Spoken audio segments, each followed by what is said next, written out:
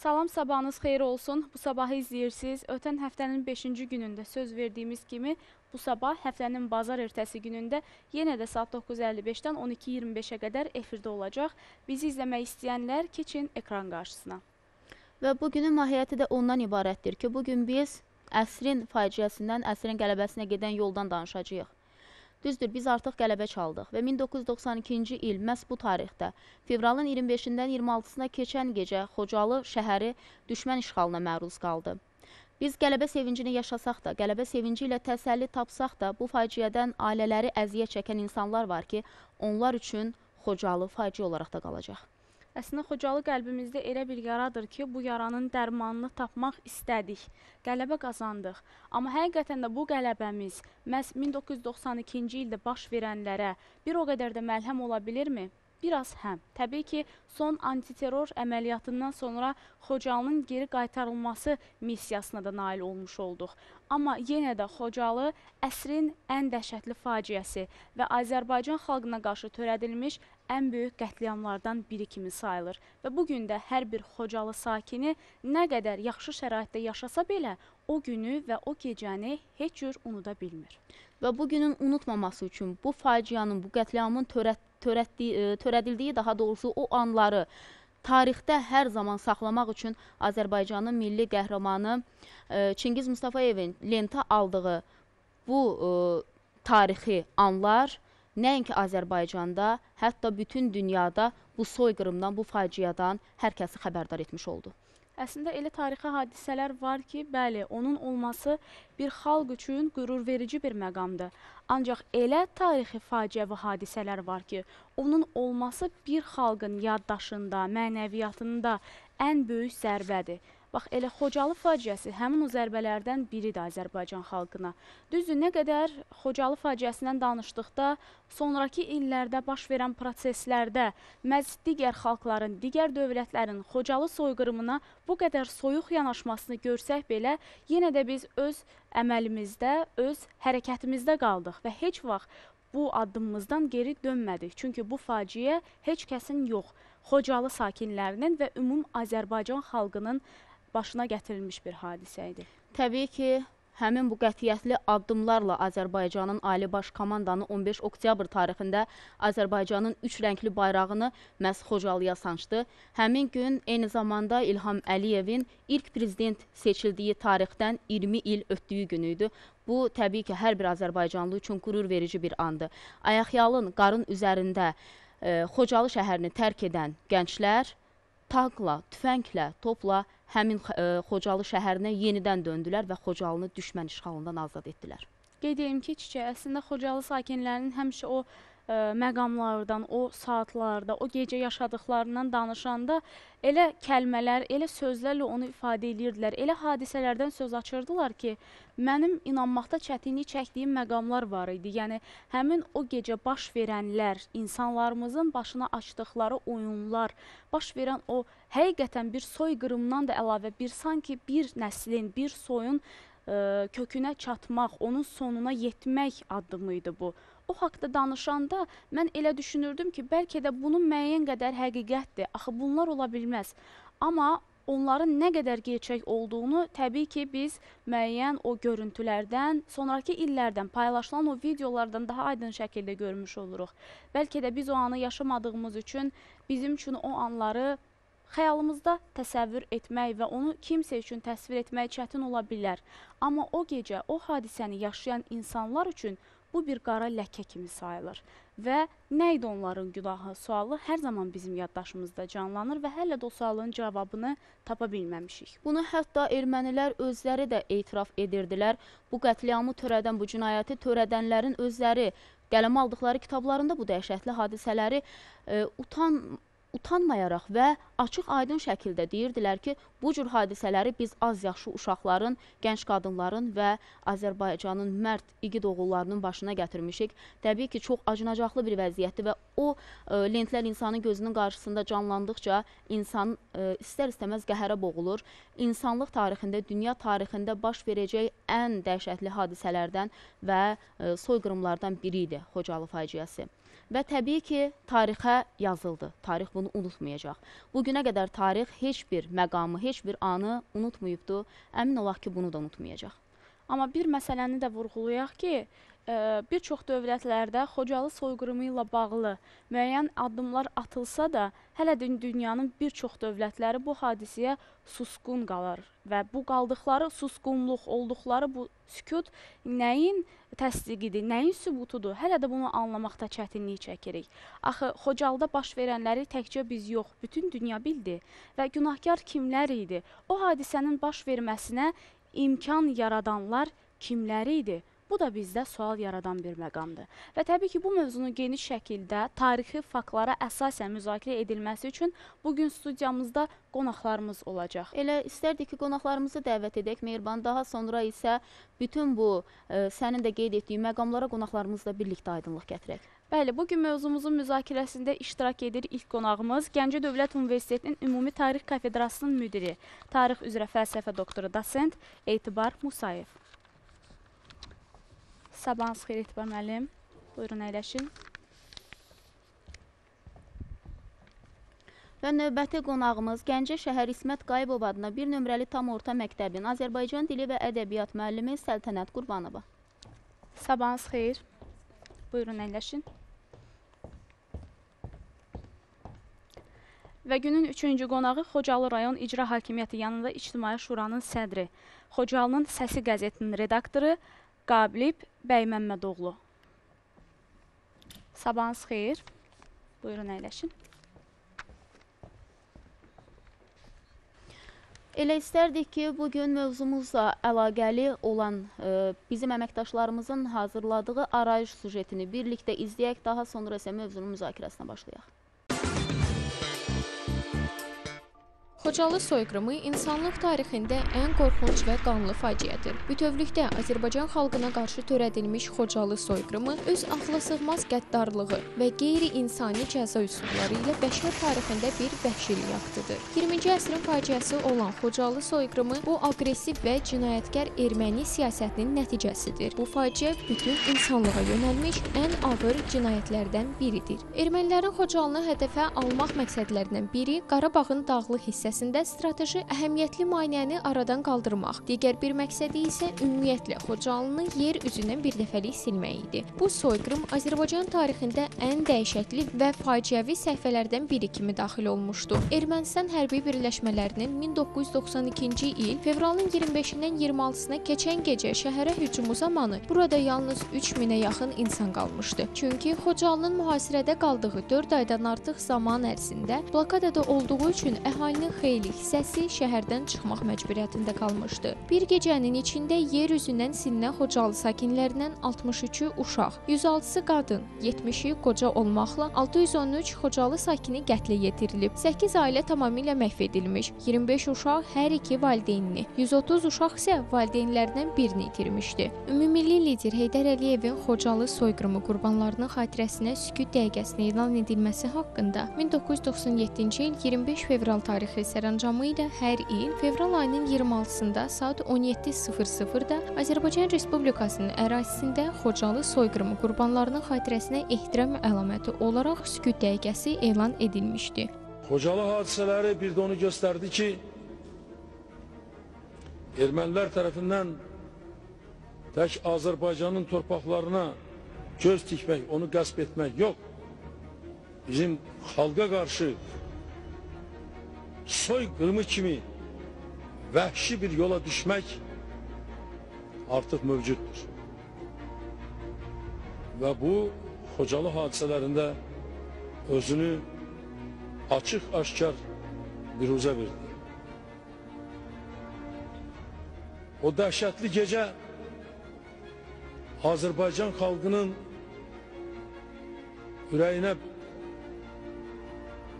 bir süngü takıldı. Xüsusi vurğulamaq lazımdır ki, hakimiyyətə gəldikdən sonra prezident İlham Əliyev Azərbaycan həqiqətlərinin dünya ictimaiyyətinə çatdırılmasını səfirliklərimiz və diaspor təşkilatlarımız qarşısında vacib məsələ kimi müəyyənləşdirmişdir. İnformasiya müharibəsinin geniş yayıldığı müasir dövrdə Xocalı soyqırımı haqqında bütün faktların dünya dövlətlərinə çatdırılması istiqamətində atılan ən mühüm addımlardan biri də Heydər Əliyev Fondunun vitse-prezidenti Leyla xanım Əliyevanın təşəbbüsü ilə təsis edilmiş, fəaliyyətini 2009-cu ilin fevralında start verilmiş və 30-dan artıq ölkədə yüzlərlə könüllünün iştirakı ilə uğurla davam etdirilən Xocalıya Ədalət Beynəlxalq İnformasiya və Təşviqat kampaniyasıdır. Bu gün artıq Xocalı azaddır və üç rəngli bayrağımız vətənimizin azad olunmuş hər güşəsində dalğalanır.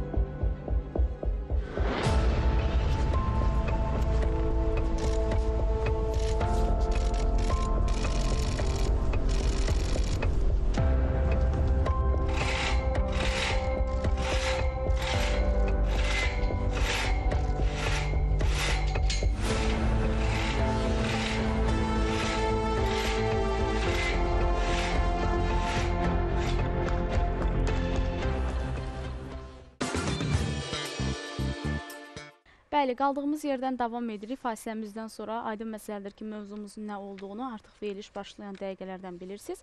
Bu haqda tarixi faktlara nəzər salacağıq və təbii ki, bu günümüzdən danışacağıq. Sizin də fikirləriniz varsa 050 243 96 36 nömrəsini ünvanlaya bilərsiniz. Mən istəyərdim ki, ümumiyyətcə Xocalı soyqırımı sözünü, bu kəlməni birlikdə işlətdikdə artıq gözümüzün qarşısında ə, təsəvvür olunan o məqamlar həddən artıq çoxdur. Amma gəlin biraz həmin o gün baş verənlərdən, həmin o gecə yaşananlardan danışaq. Etibar müəllim, buyurun söz sizdədir. Xoş gördük.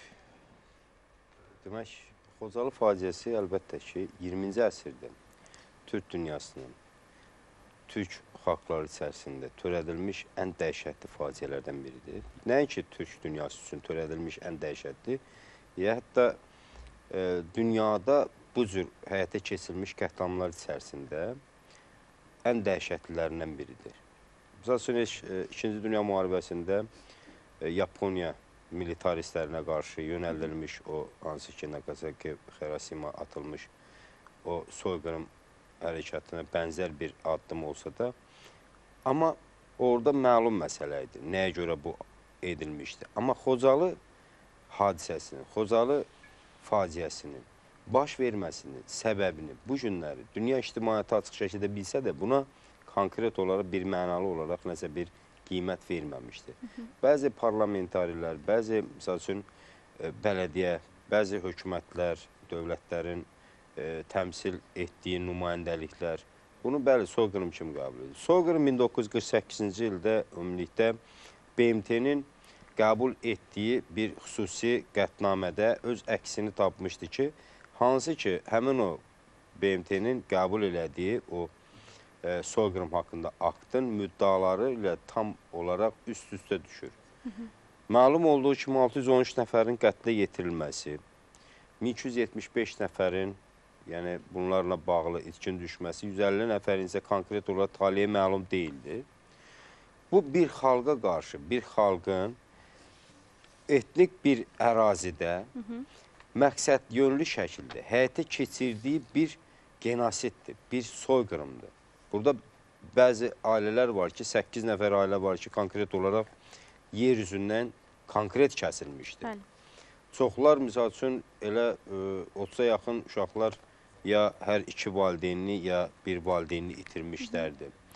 Ümumiyyətlə, Xocalı faciəsi Azərbaycan millətinə, xalqına qarşı yönəldilmiş həm genosid, eyni zamanda onun mənəviyyatına və mədəniyyətinə törədilmiş bir genosid, bir soyqırımdır.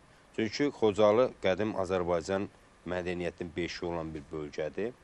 Xocalı yəni 7000 illik tarixə malik olan, qədim yaşayış yurdu olan, eyni zamanda mədəniyyətə malik olan Azərbaycan xalqının, Azərbaycan türklərinin yaratdıqları mədəniyyət nümunələrinin mərkəzindən biridir. Qarabağın füsunkar təbiətinə malik olan bir gözəl diyardır. Və Xocalı faciəsinin törədilməsi əlbəttə məqsədyönlü şəkildə olmuşdu. Çünki ətraf ərazilərdə e, yeganə bir aeroportun olduğu bir şəhər idi. Buradan Azərbaycan türklərinin qaçması üçün imkan var idi. Ona görə də bir mənalı şəkildə rusların havadarlığı ilə o vaxt 366-cı motatisi diviziyanın polkunu şey e, oradakı ermənilərə dəstək verməsi ilə məhz buranı e, ələ keçirməklə hər tərəfdən bu bölgəni izolə etmək istəyirdilər. Və Azərbaycanlılara qarşı elə bir dəhşətli hadisələr törətdilər ki, nəinki Xocalıda, Xocalı və onun ətrafındakı bölgələrdə, rayonlar və kəndlərdə, qəsəbələrdə, misal üçün Kəlbəcərdə, Goranboy bölgəsində, Başlı Belli, yəni adlandırılan yerlər və bu günlərdə şükürlər olsun ki, o ərazilərimiz e, deməli azad oldu Ali Baş Komandanlığının rəhbərliyi ilə, müzəffər ordumuzun e, qüdrəti ilə, gücü ilə, e, igid oğullarımızın qanı bahasına torpaqlar azad olundu və orada aparılan bu işlər nəticəsində, quruculuq abadlıq işləri nəticəsində kütləvi məzarlıqlar aşkar olunur. Bəli. Və buradan görünür ki, həqiqətən də sivil insanlara qarşı erməni vəhşiliyi hansı səviyyədə özünü göstərir. Körpə uşaqlara, qadınlara, qocalara amansız şəkildə işgəncələr vermişdilər. Onların orqanları, əzaları kəsilmişdi. Onlara müxtəlif əziyyətlər yandırmışdılar, hətta onları müxtəlif vasitələrlə. Bunlar Azərbaycan xalqının belə deyək ki, bir qorxu yaratmaq, bu ərazilərdən onları şuurlu şəkildə məcbur etmək ki, köçüb getsinlər. Bu bir növ Azərbaycan türklərinə qarşı bu bölgədə etnik təmizləmə siyasətinin tərkib hissəsi idi.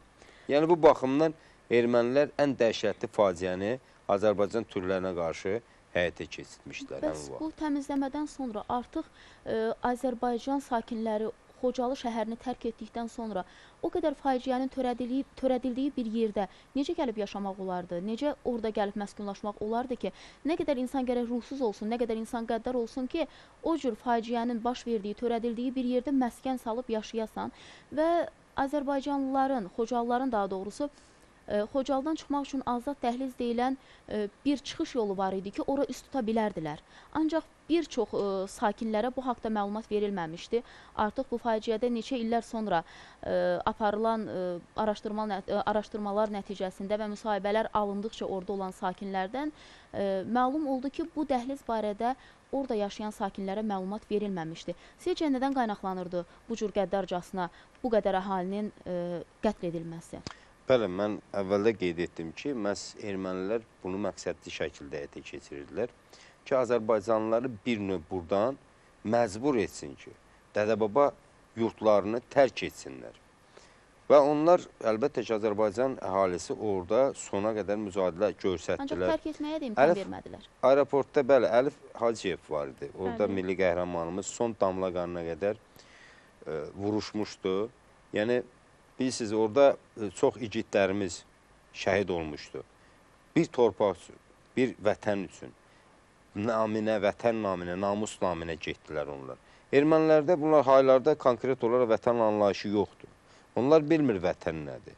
Və siz deyirsiniz ki, onlar bu cür törədilmiş hadisələrin baş verdiyi bir məkanda, bir coğrafi nöqtədə onlar necə gəlib yaşaya bilərdilər? Onlar üçün dediyimiz kimi vətən anlayışı olmadığından bunlar onu dərk etmirlər.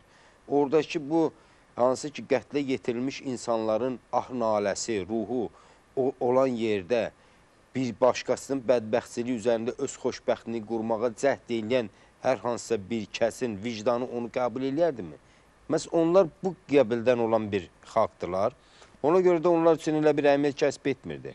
Qarabağ bölgəsi zəngin həmin təbii sərvətləri ilə yanaşı, həm də etnik, mədəni, e, böyük bir zənginliyə malik olan, bir mədəniyyətə malik olan bir ərazi olduğundan buranı daim özünkiləşdirməyə öz diqqətlərində, öz diqqət mərkəzlərində saxlamışdılar əlbəttə. Bəli, və bu hadisələri daha yaxşı bilir təbii ki, Xocalı sakinləri. Təbii ki, orada Xocalı sakinlərinin həmin o gecə yaşadıklarını onların dilindən eşidəndə, yəni insan hansı hissləri keçirir, bu aydın məsələdir.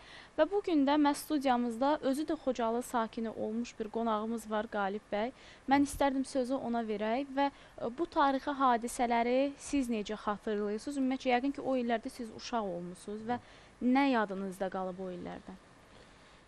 Mən Xocalının Kosalar kəndində doğulmuşam. 6 yaşımdaykən doğma yurdumdan didərgin düşmüşəm.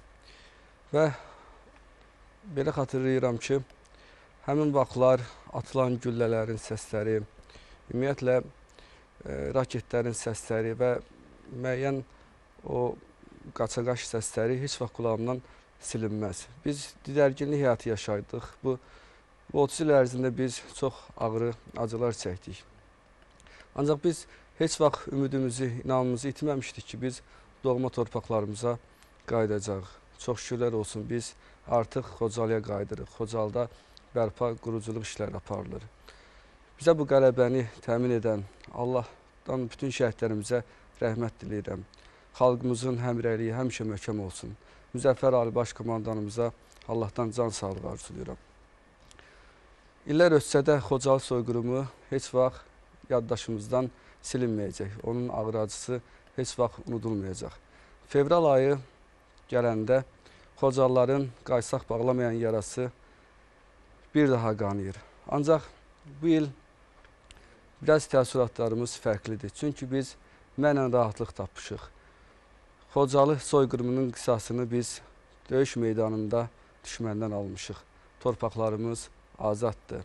Şəhidlərimizin ruhları şaddır. Mən bir daha şəhidlərimizə Allahdan rəhmət diləyirəm.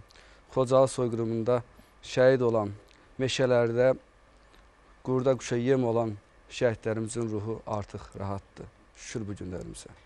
Əslində e, fevral ayının ilk həftəsində də Əskəran qalası yaxınlığında kütləvi bir məzarlıq tapıldı və o məzarlıqdan təxmini 8 nəfərin qalıqlarının aşkar olunması ilə bağlı biz belə xəbər eşitdik, amma ə, yəni deyilənlərə görə hələ belə məzarlıqların sayı çoxdur. Çünki o gecə orada qətlə yetirilən insanların neçə nəfər olması ilə bağlı müəyyən rəqəmlər verilib bizə.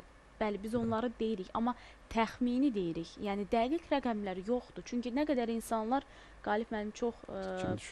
Elə bir məqama toxundu ki, bilinməyən bir məqamdır. Nə qədər insanlar meşələrdə həmin gün o qarlı qış günündə itkin düşdülər və ə, düşmənin amansız hərəkətinin bir bariz nümunəsi də odur ki, düşmən məhz o qədər soyuq bir gecədə, fevral ayının soyuğunu, yəni ə, çox yaxşı bilir orada Xocalıda yaşamış insanlar Bəli. ki, digər aylara nisbətən daha çətin olur. Bəli. Və ümumiyyətcə ədəbiyyatımızda da, ə, xüsusilə şeirlərimizdə, bizim müəyyən ə, hekayələrdə də bununla bağlı ə, məhz uşaqlarımızda vətənpərvərlik hissini və həmin o qan yaddaşımızı unutmamaq üçün yazılmış kəlmələr çox önəmli idi.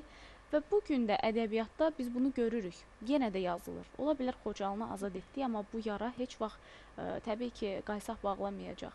Bu gün ümumiyyətcə nə lazımdır ki, biz ən azından Xocalını aldığımız müddətdən sonra gənclərdə yenə də o hissləri aşılamaq üçün əlimizdən gələn edək. Öncə qeyd edeyim ki, bədii ədəbiyyatın ən mühüm vəzifələrindən biri də milli yaddaşa xidmət eləməkdir və bunu gələcək nəsillərə çatdırmaqdır. Eləcə də müəyyən bir məsələni bəşəri bir məsələyə çevirməklə onu daha da insaniləşdirmək, daha da bəşəriləşdirmək və təbliğ eləməkdir. Ümumiyyətlə belə bir deyim var: ədəbiyyat və sənət sərhəd tanımır. Buna görə də düşünürəm ki, Xocalı faciəsi kimi ə, vəhşiliklərlə, xüsusi amansızlıqla ə, həyata keçirilmiş bir faciəni dünyaya çatdırmaq, xalqa çatdırmaq elə ədəbiyyatın ə, mühüm vəzifələrindən biri olmalıdır və bu mövzuda yaranan əsərlər, bu mövzuda yazılmış ədəbiyyat elə həm də milli yaddaş deməkdir. Öncə istəyirəm başlayım ədəbiyyat ə, dərsliklərində.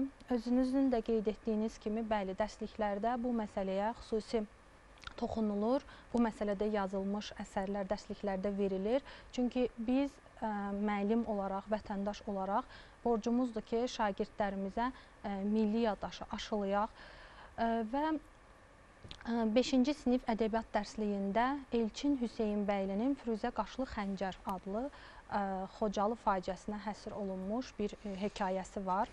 Ə, hekayə o qədər ə, canlı, təbii yazılıbdı ki, sanki hekayəni oxuduqca o anları yaşayırmış kimi hiss edir insan.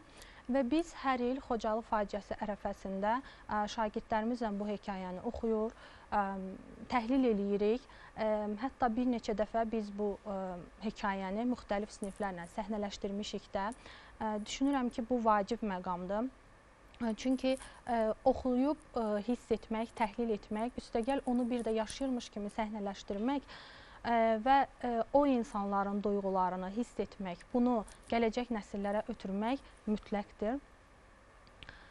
Bundan başqa ədəbiyyatımızda buna həsr olunmuş, ə, nəsr və dramaturgiya sahəsində çox əsərlər olmasa da, nəzm sahəsində kifayət qədər şeirlər var, poemalar var. Bunlardan biri də xalq şairimiz Zəlimxan Yaqubun bir qızın faciəsini, Xocalı sakini olan bir qızın faciəsini, həyat hekayəsini əks elətdirdiyi O qızın göz yaşları adlı poemasıdır ki, ə, burada da Xocalı ə, ə, faciəsi zamanı oradan qaçqın düşmüş bir qızın başına gələn dəhşətlər canlı ə, lövhələrlə əks etdirilmişdir. Amma əsərin sonunda gələcəyə inam, qələbəyə inam və intiqam hissi təsvir edilmişdir. Təbii ki, artıq bu intiqam hissi özünü doğrultdu və biz intiqam aldıq.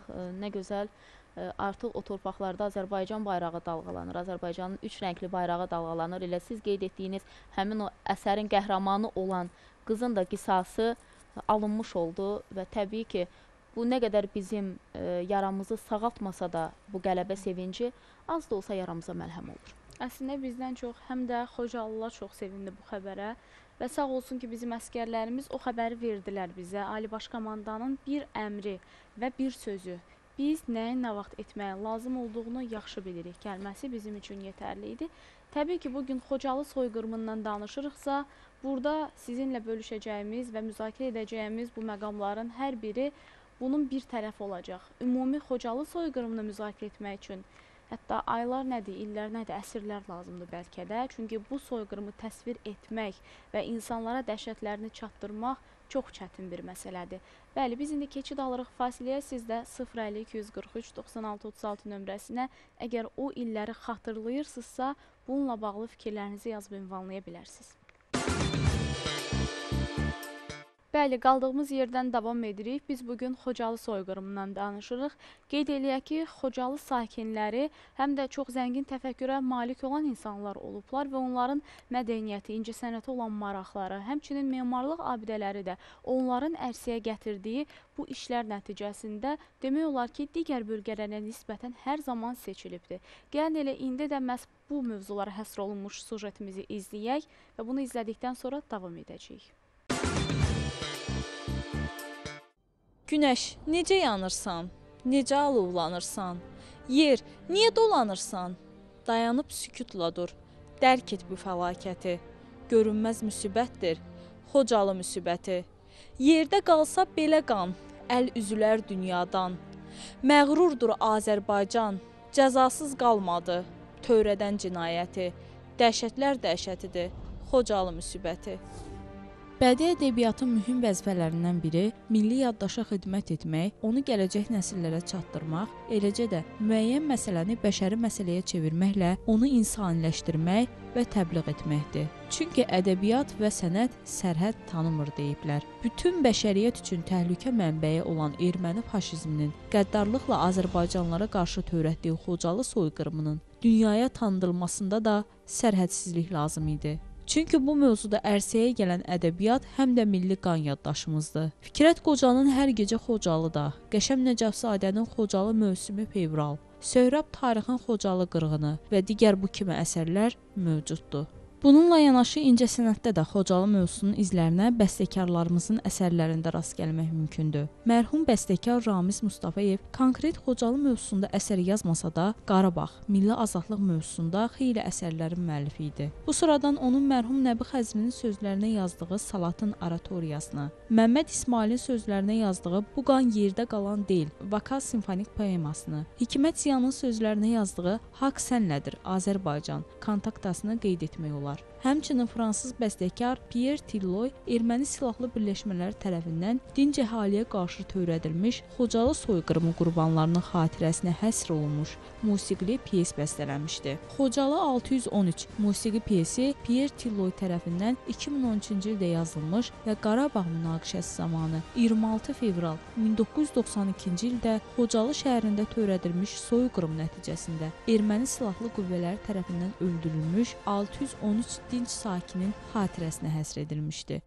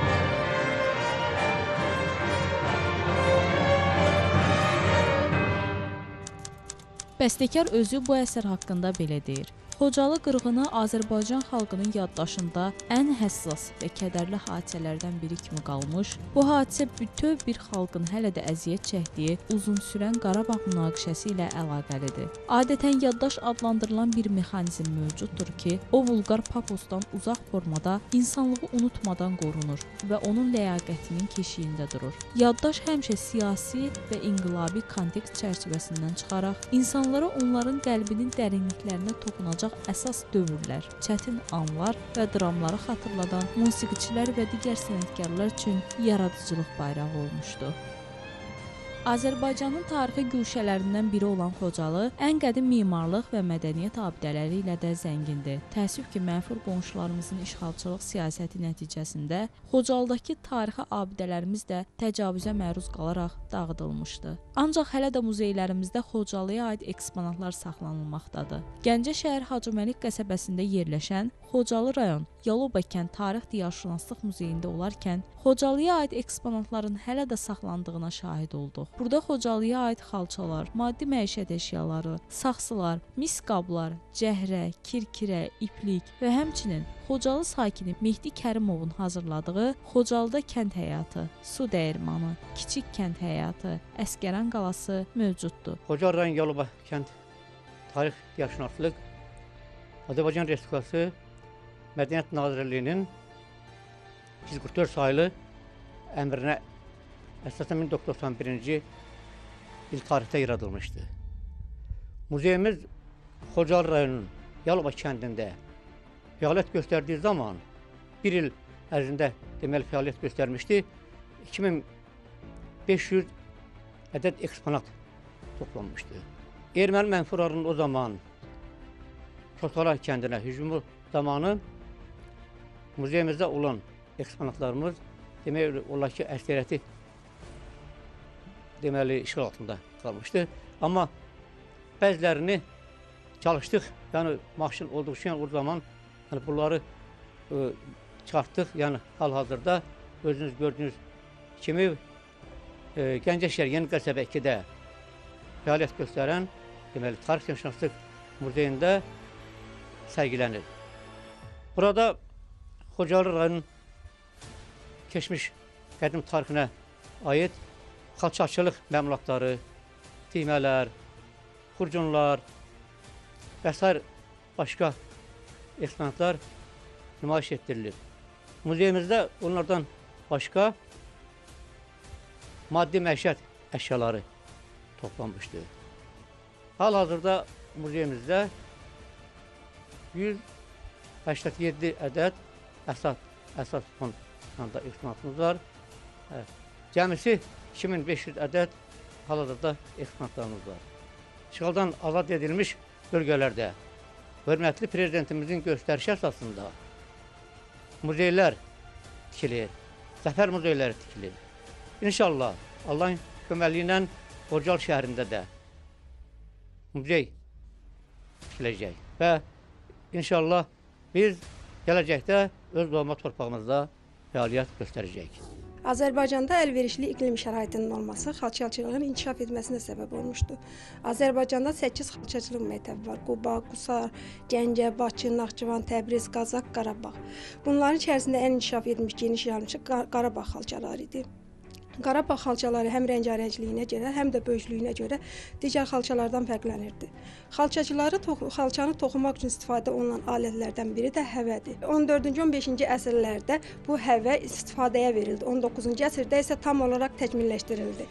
Ondan sonra daha sonra nehrələri göstərə bilərik. Ağac nehrələr, saxsı nehrələrimiz. Nehrənin içərisinə qatıq tökərək çalxalama yolu ilə yağ hasil etmək üçün istifadə olunur. Ağac nehrələr Gəncə, Qazax rayonlarında daha geniş istifadə olunur. Saxsı nehrələr isə Aran rayonlarında istifadə olunur. Ağac nehrələri hazırlamaq üçün palıd ağacından 1,5 və ya 2 metr kəsilərək içərisi nehrəcil adlanan alətlə oyulur və nehrə halına salınır. Oraqlardan taxıl və qisməndə ot biçimində istifadə olunur. Oraqlar iki cür olur. Dişli oraqlar, dişsiz oraqlar.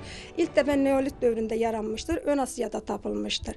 Bu qətliamın dəhşətləri həmçinin bir çox rəssam, qrafik və heykəltaraşların yaradıcılığında da öz əksini tapıb. Bu mövzuda Göygöl rayon Əlşad Məmmədov adına Üçtəpə kənd tam orta məktəbində Xocalı faciəsi adlı rəsm sərgisi təşkil edilib. Sərginin əsas məqsədi Azərbaycan tarixi haqqında həqiqətləri çatdırmaq, məktəblilər arasında milli vətənpərvərlik ruhunu yüksəltməkdir.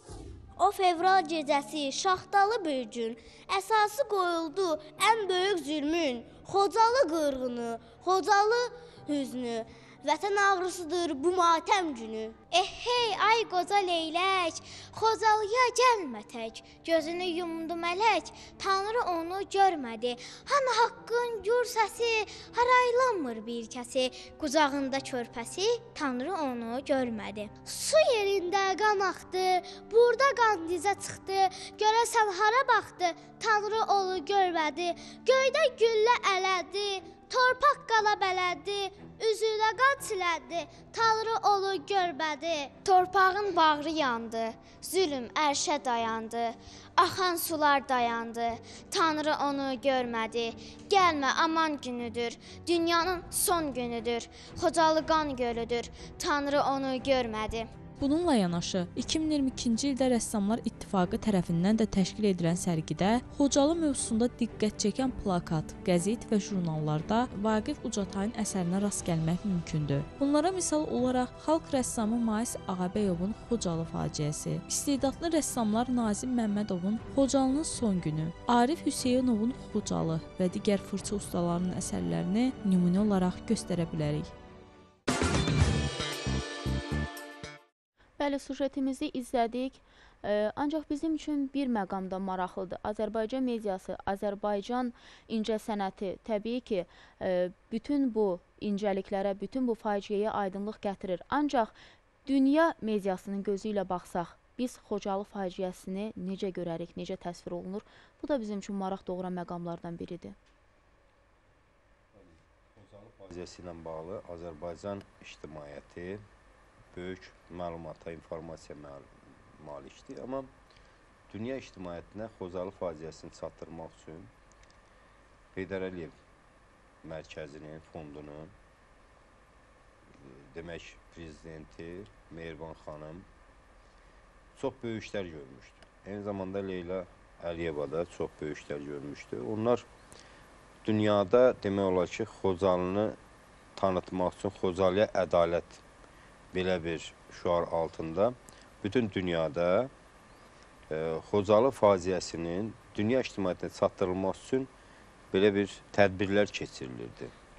E, dünyanın çox yerlərində bununla bağlı müəyyən e, heykəllər, büt, e, büstlər, sonra müəyyən e, incəsənət xadimlərinin teatr tamaşaları və eyni zamanda sərgilər, yazarların əsərləri, tarixi kitablar, bu kimi sərgilər keçirilmişdi. Dünyanın çox ölkələrində. Demək olar ki, e, Avropa ölkələrində, Latın Amerikası ölkələrində, Amerikanın özünün, Amerikanın müxtəlif ştatlarında bu həyata keçirilir. Sonra Rusiya Federasiyasında, Türkiyənin özündə, e, ərəb ölkələrində, ərəb dilli ölkələrdə yəni bu cür tədbirlər keçirilibdir və əlbəttə ki, dünya ictimaiyyəti e, bilsə də bu günləri əfsuslar olsun ki, ikili standartlar yenə də özünü göstərməkdədir. Və e, bu hər zaman şərqə olan bir e, münasibətdə qərb sivilizasiyasının tutduğu bir mövqedir. Xüsusilə də e, belə deyək, Türk İslam amilinə qarşı yönəlmiş belə bir siyasətdir. Və bunun da tarixi kökləri var əlbəttə. E, və biz bunu Qarabağ uğrunda gedən ikinci Qarabağ vətən müharibəsinin zamanı açıq aydın gördük.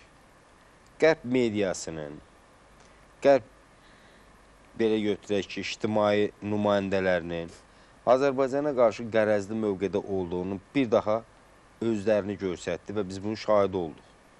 Hə, Ölkə rəhbərinin Ali Baş Komandana qarşı da müxtəlif dolayı yollarla e, əgər xatırlayırsınızsa, o 44 günlük müharibə zamanı 30-dan artıq media dünyanın şirkətləri suallar verirdi müxtəlif formalarda. İkili qaydalara əsaslanaraq e, bir tərəfli baxışdan çıxış edərək ermənilərə qarşı hər hansısa bir təzyiq, hər hansısa bir nə bilim e, vandal bir hərəkətin olunması. Biz tərəfindən heç zaman olmayıb bu. Tarixən olmayıb. Türklərin, Azərbaycan türklərinin, Türk dünyasının başına gələn müsibətlərin ilk olaraq başlıca müsəbbibi Türk millətinin ədalətli olması və mərhəmətli olmasıdır. Bundan dolayı gəlib bu hadisələr hamısı, yəni bu Türk xalqlarının başına. Qarabağda baş vermiş bütün faciələrin hamısının müsəbbibi biz özümüz olmuşuq. Elə Xocalı faciəsində yaranmasında. Vaxtı var idi bir qısaca bir haşiyə çıxmaq istəyirəm. Hadisələrin gedişatının baş verdiyi tarixi bir dövrü Azərbaycan reallığını biz ortaya qoysaq, görsək, hakimiyyət uğrunda mübarizənin getdiyi bir dövrdə torpaq, vətən, millət qalıb kənarda öz ambisiyalarına xidmət edilən addımlar atırdılar. Dırnaq arası siyasətçilər bu mövqedən çıxış etməklə, öz maraqlarını güdməklə vətən unutmuşdu, unudulmuşdu, torpaq unudulmuşdu, xalq unudulmuşdu. Əslində ilk olaraq hakimiyyət mənsublarının millət, vətəndaş, torpaq bu kimi konkret olaraq öz missiyası olmalıdır. Və cənab prezident 2003-cü ildə seçkiləndə qarşısına məqsəd qoymuşdu. Azərbaycanın ərazi bütövlüyünün təmin edilməsi üçün Qurana və Konstitusiyanı dişmişdi. Və etdi. Hətta o da deyirdi ki, mən nəyin, nə zaman, nə vaxt olacağını mən yaxşı bilirəm. Əlbəttə ki, lokal antiterror əməliyyatı nəticəsində Azərbaycan ərazisinin tam bütövlüyü təmin edildi. 2023-cü il sentyabrın 19-dan 28-ci Təsəvvür edin, Bu illəri isə gözəl bir ayda, fevral ayında, e, deyək ki, 7-sində xalq necə ki, 2020-ci il sentyabrın 27-sində öz ali baş komandalarının ətrafında yüksək səviyyədə bir yumruq olaraq, dəmir yumruq kimi birləşdi, öz torpaqlarını azad etmək uğrunda Azərbaycan oğulları səfərbər oldular və 7-sində fevralın 2024-cü ildə bunu bir daha təsdiq etdi. Çünki Azərbaycan xalqı bilir ki, onun gələcəyi, onun gələcək taleyi, ərazi bütövlüyü, onun suverenliyi ulu öndərin qoyduğu siyasətləndir. Və onu bu günləri davam etdirən Cənab Ali Baş Komandar Müzəffər Ali Baş Komandar. Və biz baxıb görürük ki, həqiqətən də 200 il müddətində Azərbaycanın torpaqları tədricən yavaş-yavaş qonşu dövlətlər tərəfindən mənimsənilib qəsb edilibdir öz halal torpaqlarımız olan Ermənistan indiki bu günləri öz bizim ərazimizdə yaradılıb və bizə qarşı torpaq iddiasında olub. Və bunun tarixi kökləri də var ki, bu günləri onlar o iddianı yenə də davam etdirməyə çalışırdı. Lakin Müzəffər Ali Baş Komandan yürütdüyü o siyasət onların qarşısını aldı. 18-ci ildə, 1918-ci il, may ayının 29-unda Azərbaycan hökumətinin heç razılığı olmadan verilmiş o torpaqlar Azərbaycan ərazisində ermənilərin federativ, konfederativ şəkildə yaşamaq hüququ haqqında bir imza olmuşdu. Yəni Azərbaycan daxilində, Azərbaycan Demokratik Cumhuriyyətinin tərkibində onlar 9,8 min kvadrat bu ərazidə yaşaya bilərdilər. Amma tədricən Sovet hökuməti qurulduqdan sonra, Azərbaycan işğal edildikdən sonra Rusiya tərəfindən və Azərbaycan torpaqları hissə-hissə zaman-zaman ermənilərə verildi və bu gün 30 min kvadrat kilometrə qədər gəlib çıxarıldı onların ərazisi. Bu günləri onlar bu torpaqlar bizim dədəbaba yurdumuz olduğunu bildikləri halda, hətta bizim digər torpaqlarda da iddialıdırlar. Çünki zamanında buraxılmış səhvlər, zamanında buraxılmış o ə, siyasi səhvlər ki var idi, onlar bu günləri həmin o bəlaları çıxartdı. Və bunun da qarşısını Ulu Öndər siyasəti, Cənab Ali Başkomandan qətiyyəti aldı. Və bu günləri əlbəttə ki, vətənimiz 7-si fevralda keçirilən prezident seçkilərində bütöv bir şəkildə seçki getdik. Qarabağsız neçə illər idi seçkilərdə. Hər dəfə deyirdi ki, e, Novruz bayramını Qarabağda keçirdək. Belə gözəl tədbirlər Qarabağda keçirilsin, gözəl dilbər güşələrimizdə keçirilsin. Və nəhayət ki, bu bizə qismət oldu və bəli, əlbəttə ki, biz yenə o şəhidlərimizə borçluyuq, Ali Baş Komandana bir ömür minnətdarıq. Çünki o bizə bu gözəl günləri yaşatdı. Yəni, Xocalı faciəsi danışmaq, bununla bağlı çox danışmaq olar ki, bunun törədilməsində. Zoru Balayan öz əsərində Xocalı faciəsi ilə yanaşı Qarabağda törədilmiş o hadisələri necə açıq şəkildə bəyan edir və yazır. Körpə uşaqlara qarşı törətdikləri işgəncəni orada kitabda necə hərflərlə insanlar öz insanlarına necə qəddar olmağı çatdırır. Hardadır bunlarda ədalət? Mərhəmət hardadırlar? Bunlar insan deyirlər. Bunlar konkret olaraq dünyaya düşmüş bir, belə götürək ki, manqurtdular. Bir, e, onlar bir vəhşidirlər. Və Onlar bir manqurtla onları belə bənzətmək belə bəzən yanlış olur ki, Etibar müəllim. Çünki yəni idarə onların olunanlar olduğuna görə deyirəm. Bəli, yəni onların əsl tayı bərabəri varmı sualı? Yoxdur, ilə bunu Cinayətkarın öz cinayətini etiraf etməsi və bunu yazılı şəkildə, şifahi şəkildə etiraf etməsindən sonra bütün dünyanın onu dünyanın onu ci- cinayətkar kimi qəbul etməməsi təəccüb doğurur əslində insanda. Bəli. Elə istərdik ki, bunun ə, mövzuda ətraflı şəkildə davam edək müzakirəyə, ancaq fasilədən sonra kanal dəyişməyin. Fasilədən öncə də qeyd etdik ki, bir cinayətkarın öz cinayətini etiraf etdikdən sonra bütün dünyanın onu haqsız görməsi nə qədər ədalətlidir? E, elə bu mövzuda sizin də fikirlərinizi bilmək istəyərdik, Qalb müəllim. Mən sualınıza cavab verməkdən əvvəl onu bildirmək istəyirəm ki, yəni bayaq ki, suala qüvvət olaraq bildirmək istəyirəm ki, biz bu illərə nəzər salsaq, yəni 30 il bundan əvvəllə indiki vəziyyətə nəzər salsaq, yəni informasiya baxımından biz əvvəlki illərdə Xocalının özü də e, informasiyamızda blokada da şəraitində idi. Mən e, bir neçə e, maraqlı epizodlardan danışmaq istəyirəm. Xocalının Səs qəzeti Xocalı soyqırımı haqqında yazılı olaraq ilk məlumat verən mətbuat orqanlarından biridir.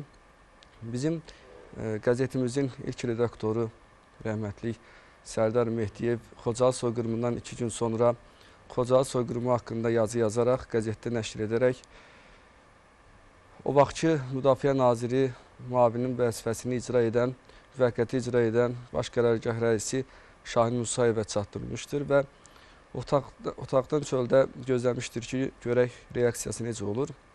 Və bunu oxuyan Şahin Musayev ə, hiddətlənərək onun üzərinə tapança ilə hücum çəkmişdir ki, sən nə üçün yalan məlumat vermisən ki, həmin faciə hadisədə da ondan onların dili ilə desək, e, bu qədər yüzlərlə insanın qətlə yetirildiyini yazmısan. Orada cəmi 2 nəfər qətlə yetirilibdir.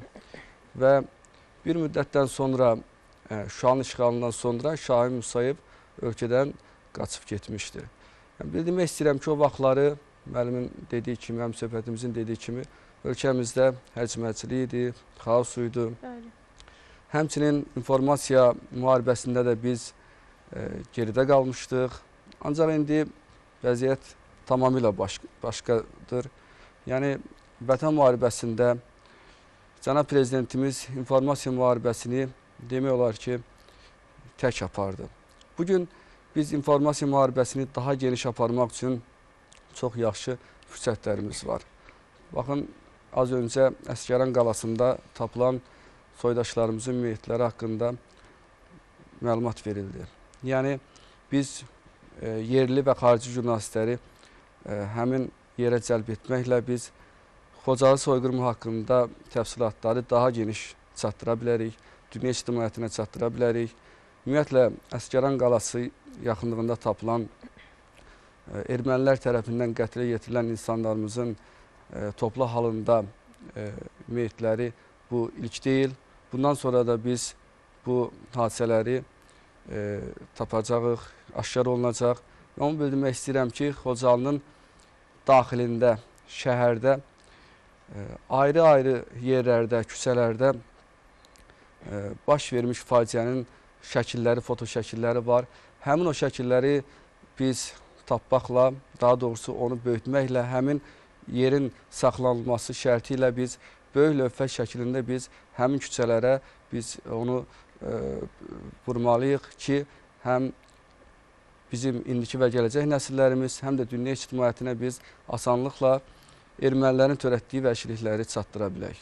Əslində Qalib müəllim siz vurğuladınız ki, məhz o Əskəran qalası yaxınlığında tapılan kütləvi məzarlıqda ə, jurnalistlərimiz ora getmişdilər Bəli, və getmiş. mən qeyd edeyim ki, ə, xarici jurnalistlər var idi ki, məhz Azərbaycanla müəyyən vaxtlarda, müəyyən aylar, aylarda səfərdə olurdular və onlar xüsusilə Qarabağ bölgəsinə gedib orada müəyyən şəkilləri çəkərək, müəyyən video görüntüləri lentə alaraq dünyaya bu həqiqəti çatdırmaq istəyirdilər. Amma məhz orada olan xarici jurnalistlər belə öz dillərindən yazdığı bir cümləni oxudum mən.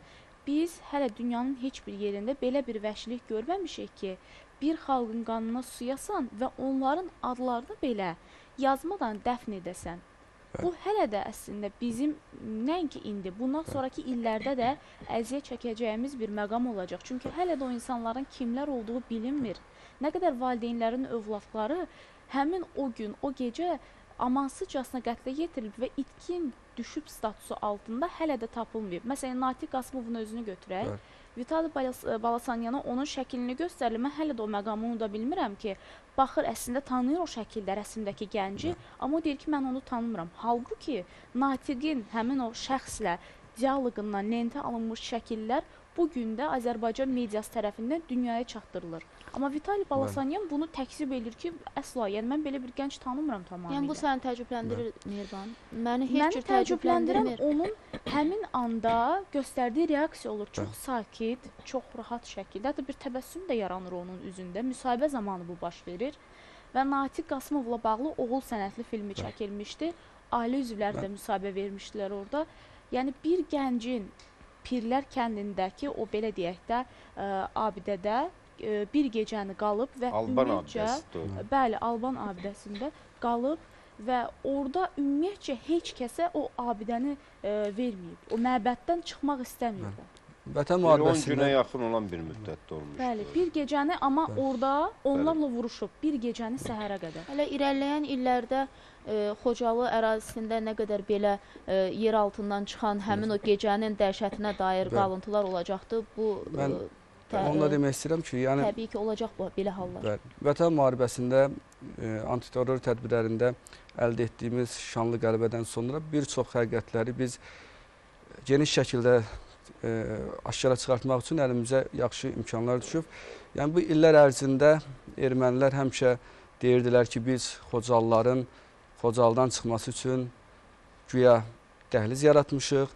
Bu da onların yaratdığı dəhliz, həmin o dedikləri dəhliz Əskəran qalasının yaxınlığından keçir.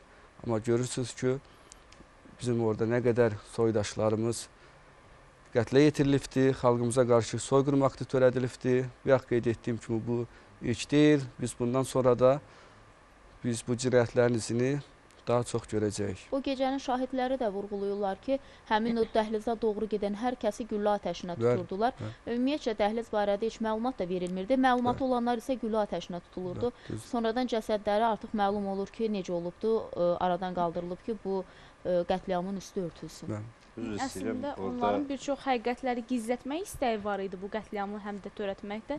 Buyurun Etibar müəllim e, işləyir. siz axı özünüz də canlı şahidisiniz ki, 44 günlük müharibədə erməni tərəfi bir neçə dəfə humanitar e, bir anlığına, bir müddətə e, demək müharibəni dayandırmaq özləri başlatmışdılar. Və bu m, 44 günün içərisində 4-5 dəfə bu təkrarlandı. Humanitar yardım üçün e, demək müharibəni dayandırmaq və bu adla da dəfələrlə onlar həmişə yalan danışıblar. Bizim bayaq qeyd etdim, mərhəmətimiz, bizim qəlbimizdə rəhmətin olması, insanlığımız. Biz onlara qarşı, dinc əhaliyə qarşı biz heç bir addım atmadıq. Və müharibənin gedişatı zamanı gördünüz ki, Gəncə gözümüzün qabağında oldu. Gecə insanların yuxuda yatdığı zaman kütləvi yaşayış yerlərinə hansı ki qadağan olmuş silahlar atmağa başladılar. İkinci hadisəni mən sizə xatırlatmaq istəyirəm. Mən tə təcrübələmək də lazım deyil. Onlar o qədər yalan, o qədər belə deyək ki, kitaba, dəftərə sığmayan, e, heç kəsin yuxuda belə ağlına gəlməyən ifadələr işlədirlər ki, onlar özləri inanırlar ona. Öz xalqını inandırırlar. Deməli, lokal antiterror əməliyyatı zamanı bunlar özləri köçüb gedirlər. Orada baxırıq müəyyən videolar var Azərbaycan, eyni zamanda dünya mediasının çəkdiyi və YouTube kanallarında qoyduqları reportajlar var. Azərbaycan xalqı haqqında çox gözəl, türlər haqqında çox gözəl fikirdədilər. Amma gedib orada başqa bir fikir söyləyirdilər. Bəli. Yalan ifadələr verirdilər. Otururdular, nə bilim, zamanında başqa-başqa, e, misal üçün fikirlər söyləyirdilər. Sonra onları başlayırdılar inkar etməyə. Və yaxud da ki, onun ətrafında başqa yalanlar dolandırmağa başlayırdılar. Bunların xisləti budur. Bunu heç təəccüb etmək də lazım deyil. Yalan danışdı, doğru danışdı, artıq bunu biz çox gözəl bilirik. Dəhlizin verilməsi isə o sadəcə olaraq ermənilər, haylar dünyaya bəyan etməyə çalışırdı ki, güya ki bunlar bu torpaqlar bunların dədə-baba yurtlardır və Azərbaycanlılara dəhliz açır ki, buranı tərk etsinlər, yetsinlər. Amma əskərən tərəfdə bayaqlarda e, deməli Xocalı sakininin söylədiyi fikirlə mən tamamilə haqlı deyir ki, o ərazidə qarşısını kəsib onlara o ümidi verib, sonra o ümidini məhv etmək idi. Tək orada deyil. Və əvvəldə də qeyd etdik ki, Qarabağ bölgəsinin bu günləri orada gedən quruculuq abadlıq işləri, mina təmizləmə işləri görüldüksə burada yeni-yeni məzarlıqlar aşkar edir. Çünki Azərbaycanlılar 4000-dən çox Azərbaycanlıların taleyi məlum deyil. Qarabağda 1-ci Qarabağ müharibəsi o hansı ki başladığı gündən 2-ci Qarabağ müharibəsinə qədər ki, o hansı ki atəşkəs olunan dövrə qədər, yəni 94-cü ildə ona qədər ki dövrdə burada baş vermiş hadisələrin fonunda, cərəyan hadisələrin nəticəsində itkin düşmüş 4000-dən çox Azərbaycanlıların taleyi məlum deyil. Yəni bunun yəni nəticəsində o məzarlıqlardan çıxanlar sübut eləyir ki, bəli, ermənilər çox vəhşicəsinə, qəddarcasına Azərbaycanlıları qətlə yetirmiş, Azərbaycan türlərinə qarşı soyqırım həyata keçirmiş və onları bayaqlar qeyd etdiyiniz kimi adları belə üstündə olmayan, adsız şəkildə onları dəfn edib və bu günləri biz onların müəyyən edilməsi hansı nəslə kimə məxsus olduğunu biraz çətinlik çəkir. Zaman aparır, vaxt aparır. Yəni ki, onlar həmişə bu cür yalan, palan, fırıldaq işlərlə məşğul olublar. Bizim də mərhəmətimizdən daha çox istifadə ediblər. Biri var bir dəfə ölmək, bir qobud da çıxsa mən məcburam bu ifadəni səsləndirməliyəm. Biri var hər dəfə ölmək.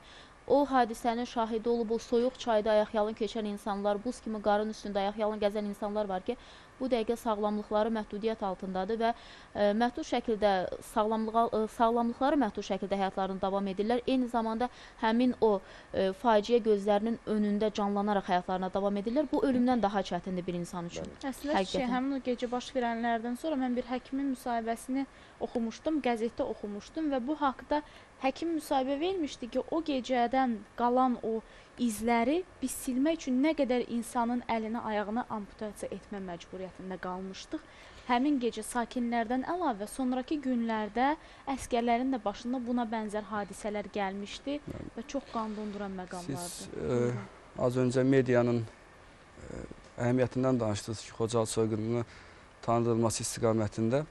Mən ə, az öncə qeyd etdim ki, Xocalının Səsi qəzeti həmin çətin vəziyyətdə, blokada da şəraitində yaşayan Xocalıya çətinliklərlə Xocalının Səsi qəzetini nəşr etdirib o vaxtki fədakar ə, redaktorumuz rəhmətlik Sərdar Mehdiyev və əməkdaşlarımız çətinliklə Xocalıya çatdırırdılar və erməni belə deyək, ə, faşizmin iç üzünü ə, oxuculara aşkar edirdilər, göstərirdilər və Hal-hazırda Xocalının Səsi qəzeti çox şükür ki, artıq doğma Xocalıdan, Xocalının azadlığından yazır, Xocalıya qayıdışımızdan yazır. Biz buna çox sevincliyik. Mən Xocalının Səsi qəzetinin redaktoru kimi buna çox sevinirəm və bildirmək istəyirəm ki, qəzetimiz hal-hazırda 8 səhifədən ibarət olmaqla ayda bir dəfə dərc olunur. Sosial şəbəkələrdə hesablarımız var Hı -hı. və qəzetimizin Xocalının sesi.az saytında e, adında saytımız var. Və mən fürsətdən istifadə edib inanıram ki, bu yaxın vaxtlarda olacaq və çox yaxşı olar ki, elə Qarabağın özündə Xankəndi televiziyasının yaradılması ümumiyyətlə Qarabağ həqiqətlərinin dünya ictimaiyyətinə çatdırılmasında çox böyük əhəmiyyəti olar. Əslində mən bir neçə fotolar gördüm. Həmin o belə deyim də Əsgəran qalası ətrafından və yaxud da elə Xocalının özündən çəkilmiş fotolar. Ermənilərin belə bir siyasi addımları olub ki, bunu hətta çox uğurlu qiymətləndirirlər öz ə, düşüncələrində, olmayan beyinlərində ki, bizə aid olan müəyyən abidələrin müəyyən qədər formasını dəyişməklə özünküləşdirmək və bura sanki Azərbaycan torpağı deyil də Ermənistan torpağıymış kimi qələmə verməyə çalışırdılar Bəli. və məhz antiterror əməliyyatı baş verməmişdən qabaqki günlərdən birində idi. Mənim yadıma gəlir ki, artıq erməni e, ermənilər oradan qaçırdılar. Nə etməyə çalışırdılar? Hər şeyi götürürdülər, amma həm də orada vurğulayırdılar ki, bunları biz etməmişik, bizə əmr verdilər ki, belə edin. Və orada belə özlərini suyun üzərinə çıxarmağa çalışırdılar. Həmin şəxslərin 2 gün sonrakı müsahibələrini mən izlədim. Deyilən sözlərin tam əksi. Azərbaycanlılar biz qaçanda bizi zülm verdilər ki, biz oradan tez qaçaq. Bu O kimi deməkdir ki, ifadələr Bu o səsləndirirdi. deməkdir ki, yəni mübarizəmiz davam edir. Düşmənin kim olduğunu indiki və gələcək nəsillərə biz daim təbliğ etməliyik. Düzdür, biz Vətən müharibəsində dəmir yumruğumuzla düşmənin başını əzdik. Ancaq düşmən tək deyil, düşmənin havadarı var. Ona görə də biz daim möhkəm olmalıyıq. Cənab prezidentimizin dediyi kimi biz çox layları tərpətmişik. Həmin o layların altından baş qaldıran deyək ilanlar bizə qarşı daha da belə deyək, daha da çox hücum çəkməyə çalışacaqlar. Ona görə də biz qələbəmizi möhkəmlətməliyik. Biz indiki və gə- gələcək nəsilləri daha çox təbliğat aparmalıyıq onlara, onlara. Biz başımıza gətirilən müsibətləri unutmamalıyıq, unutmağa qoymamalıyıq və unutmağa da haqqımız yoxdur. Çünki əgər başımıza gətirilən müsibətlər unutsaq, bundan da daha böyük faciələr başımıza gələ bilər. Təbii ki, biz qayıdacağıq yenidən müzakirəmizə, amma fasiləmizdən sonra siz də heç bir yerə ayrılmayın. Qaldığımız yerdən davam edirik və az öncə də vurğuladığımız kimi xarici dövlətlərin, xarici millətlərin Xocalı soyqırımına olan münasibəti necə idi? Bu əslində bizdə sual yaradan bir məqamdır və bununla bağlı indi növbəti bir rubrikamızı keçid alırıq. Gəlin görək Xocalı soyqırımı xarici mediada necə təsvir olunub? Ходжалинської трагедії. 1992 року сусідня країна Вірменія зайняла невеличке містечко Ходжали. За одну ніч було вбито близько 600 мирних жителів. Тысячи людей ежегодно чтят память жертв ужасной трагедии в Ходжалы у мемориала «Крик матери». Ermeni askerleri Karabağ Savaşı'nın mihenk noktalarından biri olan Hocalı'yı kuşatma altına aldı. В ночь с 25 на 26 февраля 1992 года вооруженные силы Армении захватили город Хаджалы.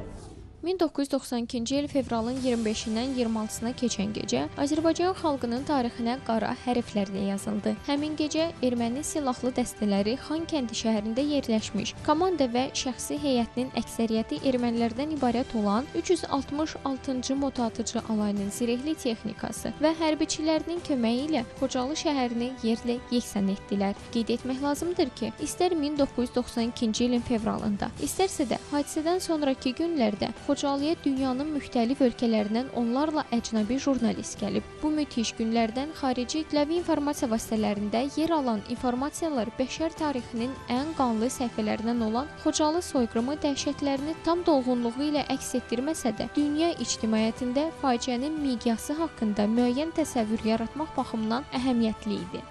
Faciədən artıq bir neçə gün sonra bir sıra xarici media orqanlarında erməni vandalizmi Xocalıda törətdiyi vəhşiliklərdən danışılırdı. Həmin dövrdə Londonda nəşr olunan The Sunday Times qəzeti 1992-ci il 1 mart nömrəsində erməni vəhşiliyinin ifşa edərək erməni əskərlərinin Dağlıq Qarabağda minlərlə ailəni məhv etdiyindən danışırdı. 1994-cü ildən ümumi lider Heydər Əliyevin təşəbbüsü ilə Azərbaycan hökuməti və parlamenti erməni millətçilərinin azərbaycanlılara qarşı törətdikləri cinayətləri, o cümlədən Xocalı soyqırımı haqqında həqiqətləri bütün miqyası və dəhşətləri ilə dünya dövlətlərinə və beynəlxalq ictimaiyyətə çatdırmaq, bunların soyqırımı siyasəti kimi tanınmasına nail olmaq üçün ardıcıl tədbirlər görüb. Xocalı həqiqətlərini əks etdirən çoxsaylı bukletlərin, video materialların dünya ölkələrində yayılmasına Heydər Əliyev fondunun xüsusi rolu var. Azərbaycan Milli Məclisi hər il fevralın 26-sını Xocalı soyqırımı günü elan etdi. Təkcə bizim xalqımıza qarşı deyil, həm də bütün insanlığa qarşı yönəlmiş bu cinayət əməlinin təşkilatçıları Ermənistan Respublikasının siyasi və dövlət rəhbərliyi, birbaşa icraçıları isə Ermənistan silahlı qüvvələrin bölmələri, erməni terrorçu dəstələri və keçmiş Sovet ordusunun Xankəndi şəhərində yerləşən 366-cı moto atıcı alayının şəxsi heyətinin üzvləridir. Xocalı soyqırımı son 200 ilə yaxın dövrdə xalqımıza qarşı həyata keçirilən qəsbikarlıq və etnik təmizləmə siyasətinin yeni qanlı səhifəsi olmuşdur. Xocalı qurbanlarının intiqamını döyüş meydanında aldıq. 44 gün davam edən 2-ci Qarabağ müharibəsində Ermənistan ordusunu darmadağın edərək öz tarixi torpaqlarımızı işğalçılardan azad edərək, o cümlədən Xocalı qurbanlarının qanını da aldıq. Və bu gün Azərbaycan güclü dövlət kimi heç vaxt imkan verməz ki, bir daha erməni faşizmi baş qaldırsın, halbuki belə meyllər görünməkdədir. Və bu gün Azərbaycan bölgədə öz ə, fəaliyyəti ilə bölgənin gələcək inkişafına töhfə verir. Bölgədə sabitliyin tam bərqərar olması üçün əməli praktiki addımlar atır. Qaldığımız yerdən davam edirik və sizin də Xocalı soyqırımı ilə bağlı fikirləriniz varsa, o illəri, o günləri canlı şəkildə görmüsünüzsə və xatirinizdə hələ də o günlərdən, yaşananlardan müəyyən izlər varsa, qalıbsa ki, mütləq qalıb, onları bizimlə bölüşə bilərsiniz. 050 243 96 36 nömrəsi aktivdir. Və təbii ki, dünya mediasında ə, Xocalı soyqırımının mahiyyətini görmüş olduq, izlədik. Və sizin də fikirləriniz bizim üçün maraqlıdır. Siz nə düşünürsünüz? Yetərincə dünyada, dünya mediasında bu faciə olduğu kimi ə, dərc olunurmu və yaxud da olduğu kimi insanlara çatdırılırmı? İstərdik bu haqqda Səltənət xanımın fikirlərini eşidək. Çünki maraqlıdır. Nəinki yəni bu sujetdə izlədiyimiz məqamlar. Yəni bu günə qədər də mediada ə, haqlı tərəfin səsini düzgün şəkildə xarici media ə, səsləndirə bilibmi sizcə Səltənət xanım? Ə, Düşünürəm ki, ə, prosesi biraz ədəbiyyatla əlaqələndirsəm, ə, fikrimi daha aydın izah eləmiş olaram. Ə, Deməli, ə, bədii əsərlərin Xocalı faciəsi ilə bağlı yazılmış bədii əsərlərin yazılmasında, daha çox romanların yazılmasında məqsəd elə ə, bu faciənin ə, tək öz xalqımıza yox, dünyaya tanıdılmasıdır. Bir çox yazıçıların ə, qələmlərində biz buna rast gəlirik. Nümunə olaraq demək istəyərdim ki, Bu yaxınlarda Şəmil Sadıqovun Ümidlərinin izi ilə ə, romanını oxumuşam ə, və ə, roman Xocalı faciəsinin dəhşətlərindən bəhs edir. Hansı ki, Xocalı sakini itkin düşür və ə, sonra Avropaya gedir, sonra isə onun başına gələn fəlakətlər, faciə dolu həyatı qələmə alınmışdır. Bu cür romanların yazılması və onlara ə, həsr olunmuş filmlərin çəkilməsi məqsədə uyğundur. Çünki ə, düşünürəm ki, hər hansı bir əsəri ə, min insan oxuyursa, ə, bir filmə minlərlə insan baxır və elə ə, haqq səsimizin, ə, istərsə Xocalı faciəsindəki vəhşiliklərin dünyaya çatdırılmasında həm ədəbiyyat, həm ə, filmlər xüsusi rol oynayır. Bununla bağlı Aqil Abbasın Dolu filmini nümunə göstərə bilərəm ki, o filmdə həmçinin Vahid Mustafayevin Xoca filmində Xocalı faciəsində yaşanan vəhşiliklər, insanların amansızlıqla qətlə yetirilməsi, real səhnələr təsvir olunmuşdur və bu kimi əsərlərin, filmlərin bu hadisələrin dünyaya çatdırılmasında xüsusi əhəmiyyət olduğunu düşünürəm. Əslində ə, biz hər zaman vurğulayırıq ki, ə, illərlə olub belə hadisələr ki, biz Xocalı soyqırımı ilə bağlı müəyyən ölkələrə müraciət etmişik. Bizim haqq səsimizi duyun deyə. Amma çox qəribə bir haldır ki, nədənsə onlar həmişə ə, gözlərinə də, ağızlarına da sanki qıfıl vurdular və dayandılar elə yerlərində. Amma nədənsə bizə deyil də qarşı tərəfə haqq verdilər, onları dinlədilər, onların səsinə səs verməyə çalışdılar. Və maraqlıdır ki, bu gün artıq o insanlar və demək olar ki, o dövlətlər, o dövlətlərin müəyyən siyasətçiləri də artıq Azərbaycan xalqının tərəfində dayanmağa çalışır. Mediada da bununla bağlı əllərindən gələni edirlər, amma zaman artıq o zaman deyil axı. Biz sözümüzü dedik, bizə lazım olan zamanda deyil, lazım olmayan zamanda. Artıq onlar gücümüzü gördükdən sonra yadlarına düşüb ki, bəs vaxtı ilə Azərbaycanda belə ə, soyqırım baş vermişdi və indi bizə haqq qazandırmağa çalışırlar. Ə, düzdür, biz heç vaxt ə, istər dünya mediası olsun, istər ə, başqa xarici ölkələrin çəkdiyi sənədli filmlər olsun, bədii filmlər olsun, bu cür kadrlara rast gəlmirik ki, həqiqəti əks etdirsin. Çünki mən ə, veriliş başlayanda da qeyd etdim, etdim ki, Çingiz Mustafayevin həmin o ə, qətliamı, o anları, o dəhşətli dəqiqələri ə, bu gün bizə çatdırması və dünya mediasına çatdırması çox ə, böyük bir addımdır. Təbii ki, ancaq mən hələ heç bir ə, xarici mətbuatda və yaxud da çəkilən filmlərdə görməmişəm ki, ə, mən realda olan bir hadisəni danışacağam ki, ə, Xocalıdan köç edən və düşmən əsarətindən qaçan bir ailə bir oğul öz anasını çiynində yolun yarısına qədər gətirir və yolun yarısında ə, artıq anası onun övladlarının, ailəsinin sağ qalmasına maneçilik törədəcək deyə anasını kəndin ə, kənd soveti ə, deyilən ə, bir idarənin ə, otağına otuzdurur və sən məni burada gözlə ana bir müddətdən sonra mən qayıdıb səni gəlib götürəcəm deyərək yoluna davam edir ailəsini qurtarmaqdan ötürü və ə, artıq səhər ə, gün işığı e, görünəndə, artıq gün ağaranda qayıdır anasını gətirməyə və həmin o bəy özü qeyd edir ki, təpənin yanına çatdıqda mən gördüm ki, həmin o idarəni yandırırlar e, və artıq oradan e, fəryad səsləri ucalır, qadınların fəryad səsləri ucalır. Öz anasının harayına çatmayan e, oğullar var idi ki, təbii ki, bu cür, bu psixologiya ilə, bu düşüncə ilə həyatına davam edən bir insanın demək olar ki, bütün həyat əlindən elə ölmüş kimi bir e, vəziyyətə gətirib çıxarıblar insanları. Həm psixoloji şiddət göstəriblər, həm fiziki baxımdan şiddət göstəriblər və bunu heç bir dünya mediasında və yaxud da ə, heç bir rejissor bu cür bir kadrları məncə bu günə qədər lentə almayıbdı. Bu gündən sonra olarmı, olmazmı bilmirəm. Faydası da olarmı? O da təbii ki, sual doğurur. Yəni nə faydası var? Artıq biz qələbəni çalmışıq. Artıq zəfər bizimdir və Xocalıda Azərbaycanın üç rəngli bayrağı dalğalanır.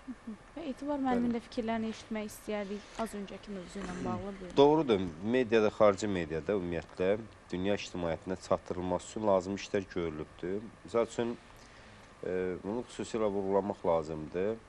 e, Şahmalı Usumov idi. E, İndi bilmirəm o şəxs durur. Xocalı rayon icra hakimiyyəti başçısı. Vahid var idi, müavini idi. İsbov, Vahid Əliyev. Bəli, Vahid Əliyev.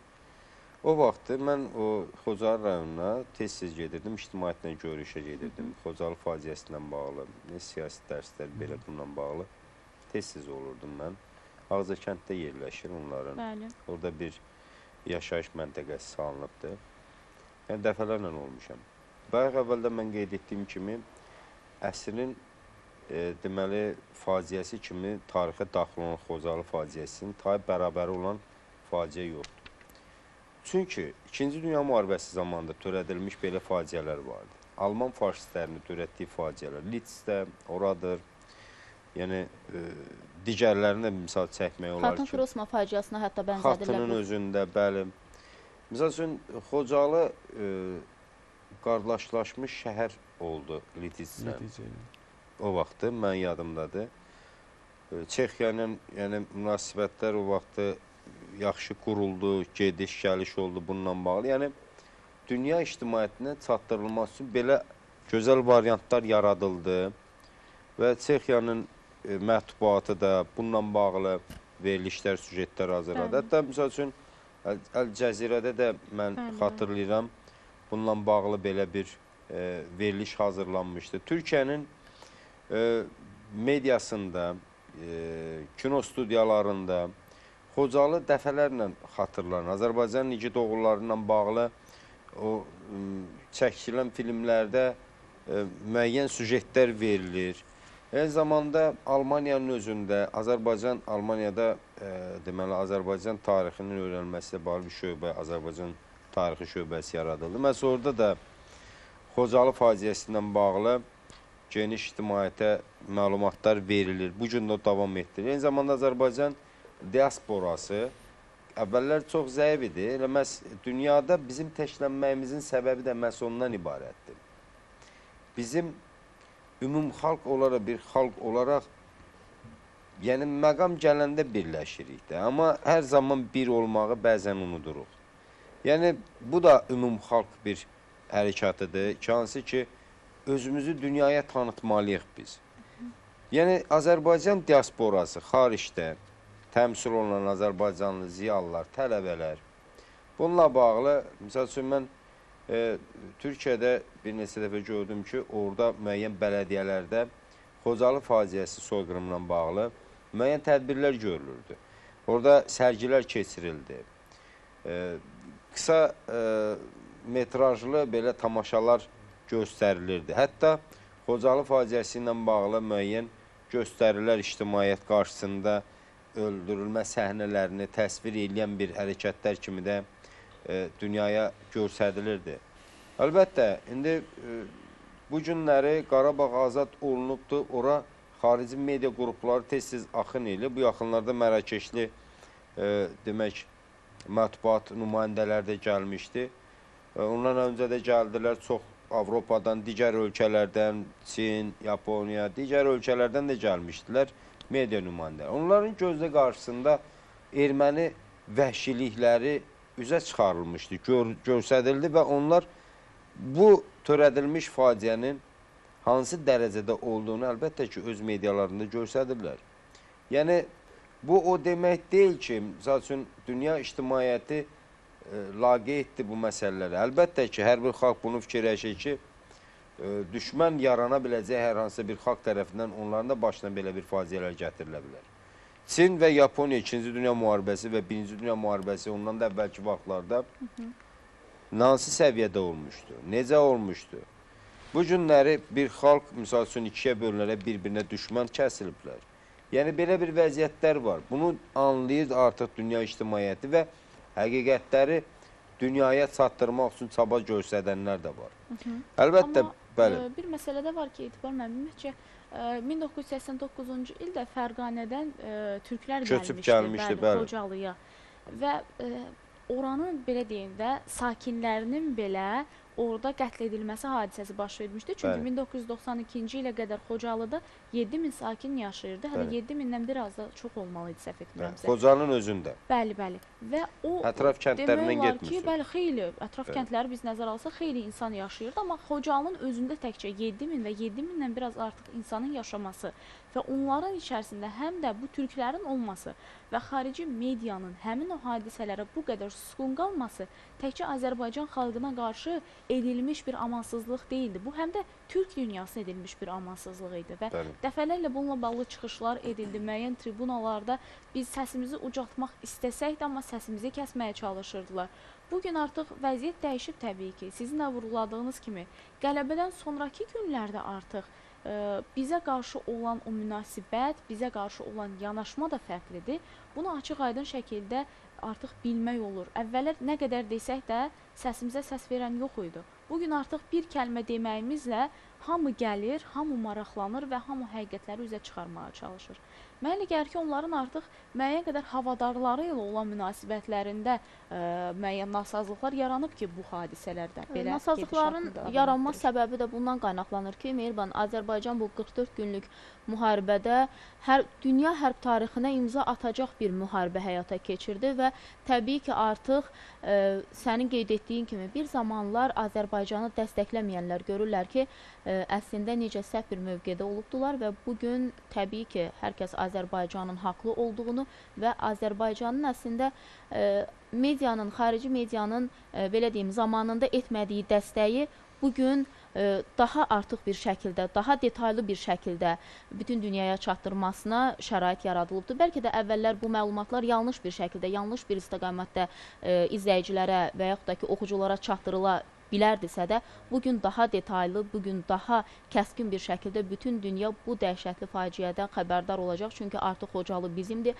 və orada olan o gecənin izləri silinməyərək qalır. Bu izlər bir-bir ə, gün üzünə çıxacaqdır, bir-bir yerin altından torpağın üzünə çıxacaqdır. Təbii ki, biz də bu zamanı səbirsizliklə gözləyirik. İndi isə fasiləyə ayrılırıq, kanal dəyişməyin. Bəli, qaldığımız yerdən davam edirik müzakirəmizdə. Qalib müəllimin də öz əlavələri var. İstərdik ki, onun da fikirlərini eşidək. Buyurun. İlk olaraq onu demək istəyirəm ki, bizim səsimizin çıxması üçün ilk öncələ özümüzün səsi möhkəm çıxmalıdır. Yəni biz dünya ictimaiyyətinə biz informasiyamızı, haqlı mövqeyimizi, düşmənin mənfi xüsusiyyətini, başımıza gətirilən müsibəti çatdırmaq üçün biz ilk növbədə özümüz danışmağı bacarmalıyıq. Bu barədə yerli mətbuat olsun, ölkə mətbuatı olsun, inkişaf etməsi, daha geniş informasiya yayması, işıqlandırılması olduqca vacibdir. Və bu sahədə hər kəs, hər vətəndaş bir əlbir olmalıdır. Və yaxud ədəbiyyatımızdan danışıldı. Ədəbiyyatımızdan, mədəniyyətimizdən bir filmin təbliğ etdiyi, belə deyək, hadisənin e, təfsilatı olduqca genişdir. Ona görə filmlər çəkilməlidir. O film ki, e, səs sala bilsin. Bizim həm şanlı Qarabağ zəfərini də, şanlı zəfər tariximizi də biz təbliğ etməyi bacarmalıyıq. Bunun üçün əlbəttə yaxşı imkanlarımız var. Dövlətimiz bu barədə işlər görür. Mənə elə gəlir ki, bu işlər bundan sonra mütəşəkkil şəkildə davam etdiriləcək. Bəli və izləyicimizdən ə, bir ə, fikir gəlib bizə. Yazır ki, salam, hər vaxtınız xeyir olsun. Mən elə özüm də əslən Xocalıdanam və Xocalıdan çıxanda 17 yaşım var idi. O günün, o gecənin hadisələrini heç nə mənim yaddaşımdan silə bilməz. Hətta vəziyyət o yerə çatmışdı ki, artıq insanlar nə olur olsun, bircə isti geyim tapım, evimdən çıxım deyirdilər. Və elə bir hadisələr baş verirdi ki, təkcə burada qətliam deyildi. Onlar qadınların, qızların zinət əşyalarını belə ölənlərin üzərindən çıxarıb aparırdılar. İnsanlara nə əziyyətlər edirdilər. Bu gecə biz onları gördük. O gecə baş verənləri isə yaddan çıxarmaq mümkün deyil. Qeyd eləyim ki, heç kəs bunu düşünmür və heç kəs buna qarşı bir sual vermir, amma mən bunu fikirləşmişəm.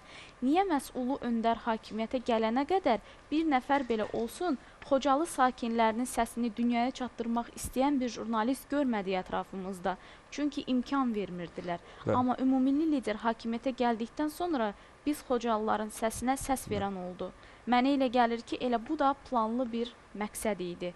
həyata keçirildi və hər kəs öz yerinə çəkildi. Təşəkkürümüzü bildiririk izləyicimizə yazdığı üçün. Rüxsarı xanım yazıb bunu bizə. Mən və e, o suala ətrafında belə bir Buyurun, söhbət aparmaq istəyirəm ki, e, az öncə mən vurğuladım ki, e, Xocalının Səsi qəzeti Xocalı soyqırımı haqqında ilk yazılı məlumat verən mətbuat orq- orqanlarından biridir. O vaxt qəzetimiz işıq üzü Xocalı soyqırımından iki gün sonra işıq üzü görülüb və o vaxt Müdafiə Nazirinin, vəzif Nazirinin vəzifəsini müvəqqəti icra edən Baş qərargah rəisi Şahin Musayevə verilmiş və Şahin Musayevin fikri olub ki, həmin məlumatı yazan redaktorumuzu tapança ilə vursun. Yəni sən niyə yazmısan ki, burada yüzlərlə insan qətlə Əslində yetirilibdir, şəhid həqiqətləri olubdur. gizlətmək Bəli. istəyirdilər. Yəni bəli.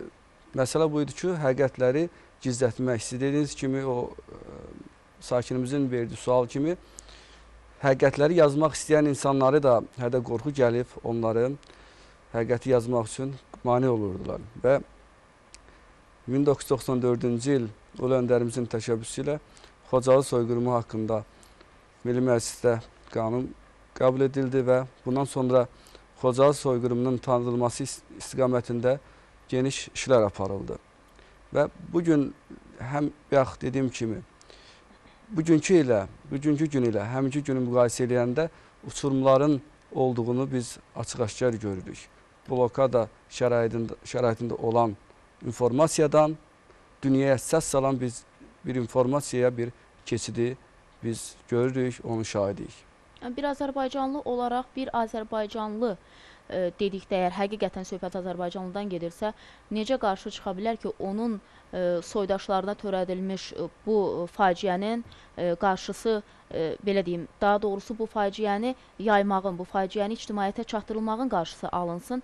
Bu heç bir ağla sığan hərəkət deyil. Çünki biz nəinki in- canlı insanlara, hətta cəsədlərə belə nə qədər təhqiramiz hərəkətlər olunurdu. Hətta hamilə qadınların bətnindən uşaqlar çıxarılıb yerinə pişiyi qoyub, e, pişik balalarını qoyub Azərbaycana e, təhvil verirdilər. Bu cür halları necə gizlətmək olar mətbuatdan? Yəni e, bir insan əgər bu özünə insan deyəcək bir varlıq necə belə bir hallara e, imza ata bilər? Necə belə bir qəddarlığa imza ata bilər? Yəni həqiqətən insan düşündükcə dəhşətə gəlir. Bu məqamda ə, icazə versəz bir şey bildirmək istirdim. E, ola bilər ki, bəli, mətbuatda ə, Xocalı faciəsinin səsi boğulurdu, amma ə, mən ədəbiyyata nəzər saldıqda mən e, İtaliyalı bir e, şairin e, Davide Qualitteri adlanan bir şairin Xocalı adlı şeirini oxumuşam. O şeirdə belə bir misralar var. Deyir ki, şərqdən gələn qonağın yükü hekayət olar, amma mənim eşitdiklərim inanmıram dünyada belə cinayət olar. Yəni bu şeirdən də artıq məlumdur ki, onlar bu prosesləri gözlərinlə görüblər və canlı şahidi olublar. Mətbuatda ə, bu prosesin səsi boğulsa belə, ədəbiyyatda ə, bu şairi mən nümunə olaraq dedim, bir çox belə ə, xarici ədəbiyyatlarda da Xocalı faciəsinə istinad edilibdir. Xocalı faciəsini çox gözəl vurğuladın, səsi boğulurdu. Niyə? Kim idi bunu edənlər? Nə məqsədlə edirdilər? Ümumiyyətcə Xocalıya qarşı törədilən bu amansızca qətliamın arxasında nə dayanırdı? Məqsəd nə idi? Daha doğrusu hədəf nə idi? Erməni lobbisi dünyada olan ən böyük lobbilərdən biridir. Hansı ki 19-cu əsrdə artıq formalaşıb türklərə qarşı bir siyasi xətt götürüblər. Demək, Daşnaqstun, Hınçaq bu partiyalar türklərə qarşı 19-cu əsrdə 80-ci illərindən 70-80-ci illərindən demək olar ki, e, böyük bir soyqırım siyasətinin konsepsiyasını oturub hazırlayırlar. Bəli, hətta pulu Hətta- keçirirdilər onlara. Bəli. Onlar deməli bütün dünya ermənilərində hayları yığışı bu təşkilatı təşkil edən özləri özlərini belə qorxudaraq ora pul yardım edilməsini tələb edirdilər. Təşkilatları üçün, onların gələcək ambisiyalarını həyata keçirməsi üçün maliyyə toplayırdılar. Hədə qorxularla, zor tətbiq etməklə. Və siz e, belə bir sualla müraciət edirsiniz ki, niyə, nə idi bax bu e, soyqırımın qarşısını almağa cəhd? Bunlar törətdikləri hadisələri başqalarının törətdiyi kimi qələmə verirdilər. Azərbaycanlılara qarşı törədilmiş bu hərəkəti özlərinə qarşı törədilmiş bir hərəkət kimi dünya ictimaiyyətinə bəyan edirdilər. Hətta 20 yanvar faciəsində baş vermiş hadisələrin bəzi fraqmentlərini götürüb, onlar özünün erməni millətinin başına türklər tərəfindən gətirildiyini e, bəyan edirdilər. Xocalı faciəsində o olan e, deməli hadisələrin fotolarını, video yazılarını montaj eləyərək güya ermənilərin başına gətirilibdir bu hadisələr. Əslində onlar özlərini bizdən öncə, bizdən öncə, onların çünki bizə e, bizim dünya informasiya blokadasını yarıb çıxmağımız hələ o vaxtı bir çətin bir vəziyyət idi. Hətta nəinki e, 9-7-ci düzəliş deyirdilər o vaxtı. Bəli. Amerika e, senatının senatında konqresdə bizə qarşı tətbiq edilmişdi. Onu Heydər Əliyev ulu öndərimiz onu gəldi. E, o blokadanı yardıqdan sonra bizə qarşı o yardımlar olunmağa başladı. Bizə qarşı ermənilər bütün sahələrdə o qədər işlər görmüşdülər ki, haqq səsimizi bizim boğurdular. Bizə heç kəs inanmaq istəmirdilər. İnanmırdılar. Və e, ermənilər elə bir e, işlər görmüşdülər planlı şəkildə ki, təsəvvür eləmək mümkün deyil ki, biz oturub fikirləşirdik, biz bir xalq, bizi məhv, et, məhv edirdilər. Hər tərəfdən məhv edirdilər. Təsəvvür etmək mümkün deyil e, bunları ki, bizim başımıza gələn hadise. İndi siz təsəvvür edin, bayaqları burada vurğuladınız ki, dünya ictimaiyyəti niyə susurdu? Bəli, niyə susurdu? O boyda Zəngəzurdan, İrəvandan, Qarabağ bölgəsindən, Qarabağ və onun ətrafından zorla, məcburi şəkildə didərgin salınmış Azərbaycanlılara qarşı ermənilərin törətdikləri o cinayətləri örtbasdır etdilər. Bu qaşqın düşərgələrində zülüm, əziyyət çəkən o millətin bir dəfə də olsun gəlib taleyinə maraqlanan olmadı. Bu sual düşündürmürmü bizi? Düşündürür. Niyə bu belə olmuşdu axı? Səbəb nədədir? Günah kimdədir? Deməli, bizim öz zəifliyimizdə idi. Biz dünyaya bəyan edə bilmirdik. Hər tərəfli. Bayaqları çox gözəl vurgulandı. Gərək səsimiz biraz bərk çıxmalıdır. Və yaxud da etmək istəmirdik. Bəli, yəni bəzi qüvvələr də var idi. Onlar da daxildə, misal üçün, e, düşmən elə ki, xaricdə deyil ki, daxildə də var idi düşmən. Satqınlar, Satqınlar var idi, bəli. Onlar, məsəl üçün, e, hansısa bir, e, deyək ki, xarici kəşfiyyat idarələrinə işləyənlər idilər. Onların göstərişindən. Məsəl üçün, elə, e, deyək ki, e, o dövrdə 90-cı illərdə, 80-ci illərin sonlarında Qarabağ hadisəsi bu başlayandan sonraki mərhələləri deyirəm. Azərbaycanda nə qədər terror aktları həyata keçirildi. Avtobuslarda, metrolarda, vaqonlarda nə qədər insanlarımız tələfata uğradı, məhv edildi. Niyə axı? Bunlar kimlər tərəfindən həyata keçirilirdi? Bəli, tamahkirlər bizə qarşı olan satqınlar var idi içimizdə. Onlar da bunun bir növ belə deyək ki, əlaltıları və onun, həmin hadisələrin birbaşa iştirakçıları idilər. Bizə qarşı onlardan istifadə etdilər. Kimlərsə zəif insanlar və s. Yəni biz bunları görürük, gördük, bildik. Artıq biz o xalq deyilik. Biz elə bir güclü bir xalqıq ki, həqiqətən də.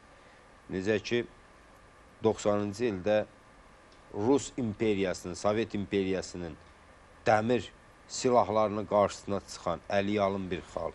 Öz müstəqilliyimizi, öz istiqlaliyyətimizi əldə etdik.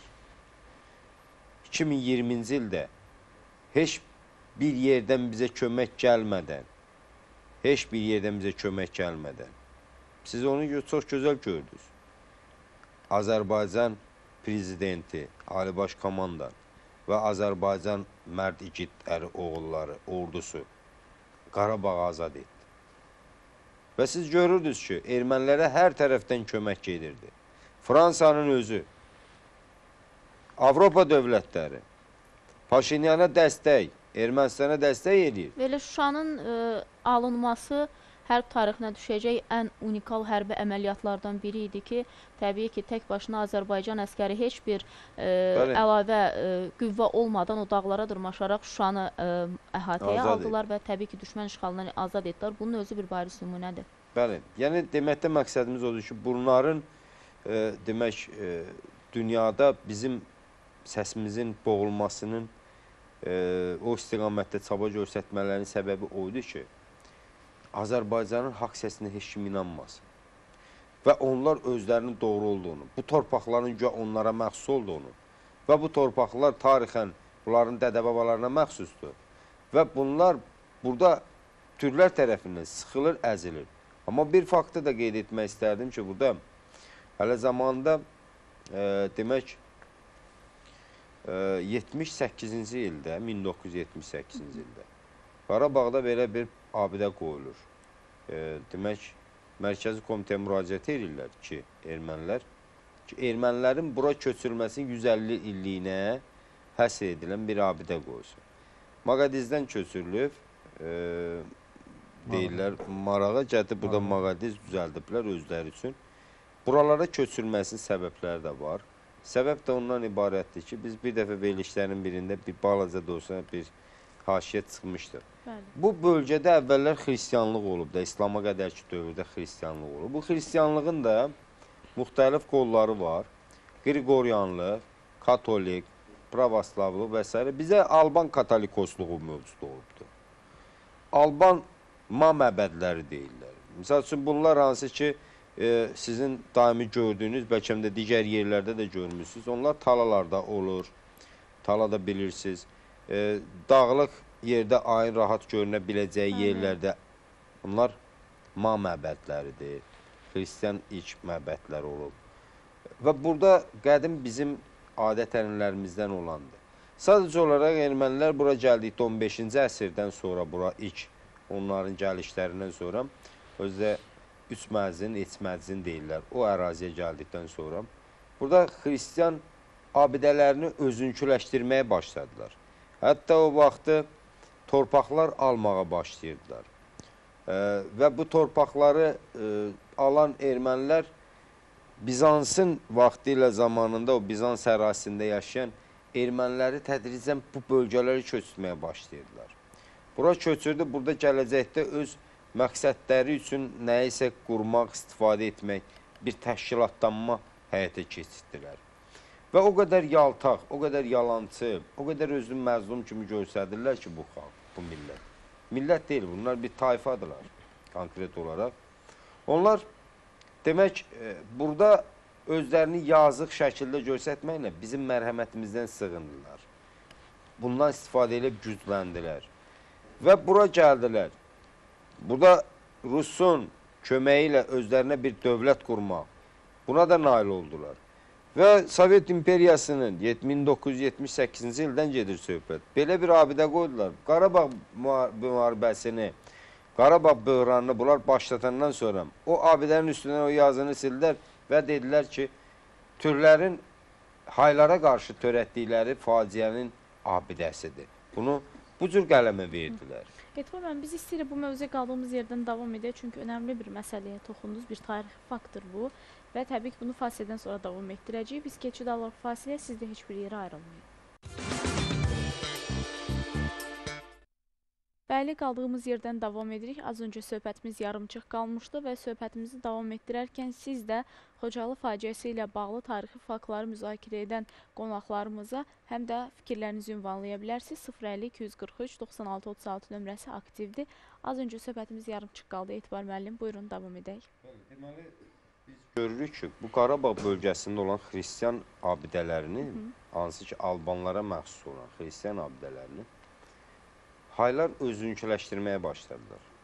Qriqoryan katolik kilsəsinin məxsus olduğu müəyyən o hansı ki naxışlar xasında olan və s. müəyyən o cizgiləri dəyişməklə bunlar özünküləşdirdilər. Amma hansı ki bunlardan heç birindən xəbərləri yoxdur bunların. Bunlar bura sonradan gəliblər. Bu faktdır, tarixi faktlardır. Bunu e, Rusiya e, arxivlərində, Rusiya ədəbiyyatlarında, Gürcüstanda, Tiflisdə, o vaxtı bu bölgənin idarəçilik mərkəzi Tiflis idi o vaxtı. Rusiya tərəfindən işğal edildikdən sonra canişinlik mərkəzi Tiflis idi. Demək, bunların bura köçürülməsinin, hətta Şavrovun özünün yazdığı məlumatda belə bir e, fikir söylənilir ki, 1 milyon 300 min yaşayan buradakı erməninin 1 milyonunu biz köçürdük, gətirdik bura. Bu tarixi faktdır. Hətta burada yaradılmış İrəvan quberniyası, erməni əyaləti deyilən belə bir şeyin yaradılmış. Ruslar tərəfindən düşünülmüş şəkildə keçir. Çünki zamanında bu haylar e, Pyotra müraciət etmişdilər ki, İsrail ori var idi. Nəsə Aştaraketsi, ermənilər onlar e, deməli müraciət edirdilər ki, Yahudiləri siz Musa peyğəmbər necə gəlib xilas elədi faraonun əsarətindən, siz də erməniləri bir mazlum xalq kimi bunları bu türlərin əsarətindən xilas Bəli, edin. bəli. Hətta e, demək e, 1828-ci ildə bağlanmış müqavilə, o 1708-1709-cu illərdə olmuşdu bu hadisələr. Ondan təxminən 100 il sonra artıq e, Qacarlarla bağlanmış müqavilədə ermənilərin, erməni deyəndə haylardan gedir söhbət Bəli. və onların bu bölgəyə sərbəst köçürülməsi ilə bağlı müqavilə imzalandı. 15-ci bənd konkret olaraq göstərilir orada və erməniləri bu hara göndərdilər? Qarabağa, İrəvan bölgəsinə, Naxçıvan bölgəsinə. Harda ki, çox münbit torpaqlar var və bunlara 6 il müddətində vergidən tamamilə azad edirdilər və burada onlar sərbəst dolaşırdılar. Yəni təsəvvür edin. 1836-cı ildə Alban katolikosluğunu ləğv etdilər bunlar. Ulu Öndər onu bərpa etdi 2003-cü ildə. Niyə Alban katolikosluğunu ləğv etdilər? Məqsəd ondan ibarətdir ki, burada ermənilərin özlərinin katolikosluğunu yaratsınlar və burada dəyişikliklər aparmaqla tarixi, mədəni abidələrimizi özünküləşdirib buranın köylü sakinlərinə çevirsinlər özlərini. Amma antropoloji faktlar da var ki, hansı ki bunlar buranın yerli sakinləri deyirlər və onlar bura gəlmədilər, köçürülmə bir xalqdırlar. Bunlar özlərinin uydurma bir tarixini yaradıblar ki, güya bunların tarixdə 11 dəfə dövlətləri olubdur. Və 11 dövlətləri olub, 11 dövlətləri də nə bilim hansısa bir siyasi proses nəticəsində dağılıb. Harda yaranıb? Harda olub?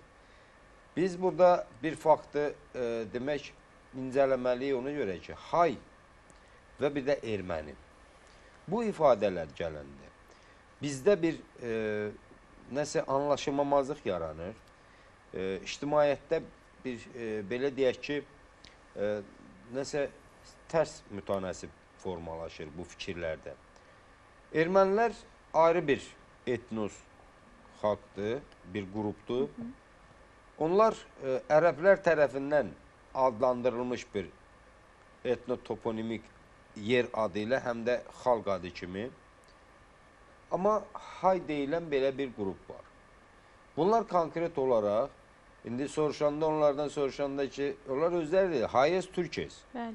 Sən haysan yoxsa türksən. Onlar demir ki, erməni yoxsa türksən. Yəni bu ifadəyə bax. Onlar öz vətənlərini də Hayastan adlandırırlar. Hayastan adlı. Bu erməni Bununla bağlı onların bir mahnısı da var. Hay, bəli. Bəli. Hayastan, Hayastan.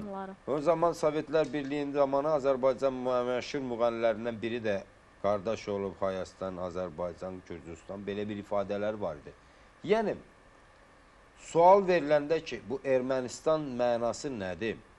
Hətta e, Yerevan adının verilməsi ilə bağlı mən demək istədim. Ona qədər 60-cı illərin ortalarına qədər 65-ci ilə kimi oranın adı İrəvan gedirdi. Bəli. Sonra Yerevan elədilər. Yaxşı, hər bir e, belə deyək ki, anamastik, dilin anamastik vahidləri var. Onun genealoji e, demək ki, tərkibi var. Genealogiyası var, sözün, etnik birliyin. Mənasının izahını versinlər ki, görək bu Yerevan nədir, İrəvan nədir? Yaxşı, Hayastan nədir, Armeniya nədir, Ermənistan nədir? Başa düşürük, anlayırıq. Xalqlar var, özlərini adlandırma, müxtəlif etnik və dövlət formasında adlandırmalar var. Macarlar özlərinə Hungari deyir.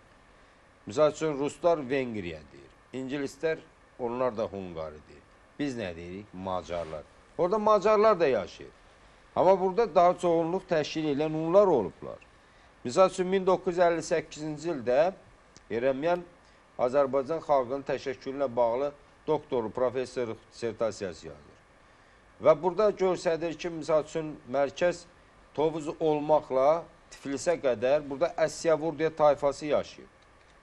Əsiyavurdiya tayfası Qriqoryan olub, Xristiyan olub, erməni olub. Bəli, bəli. Bunlar deyirlər.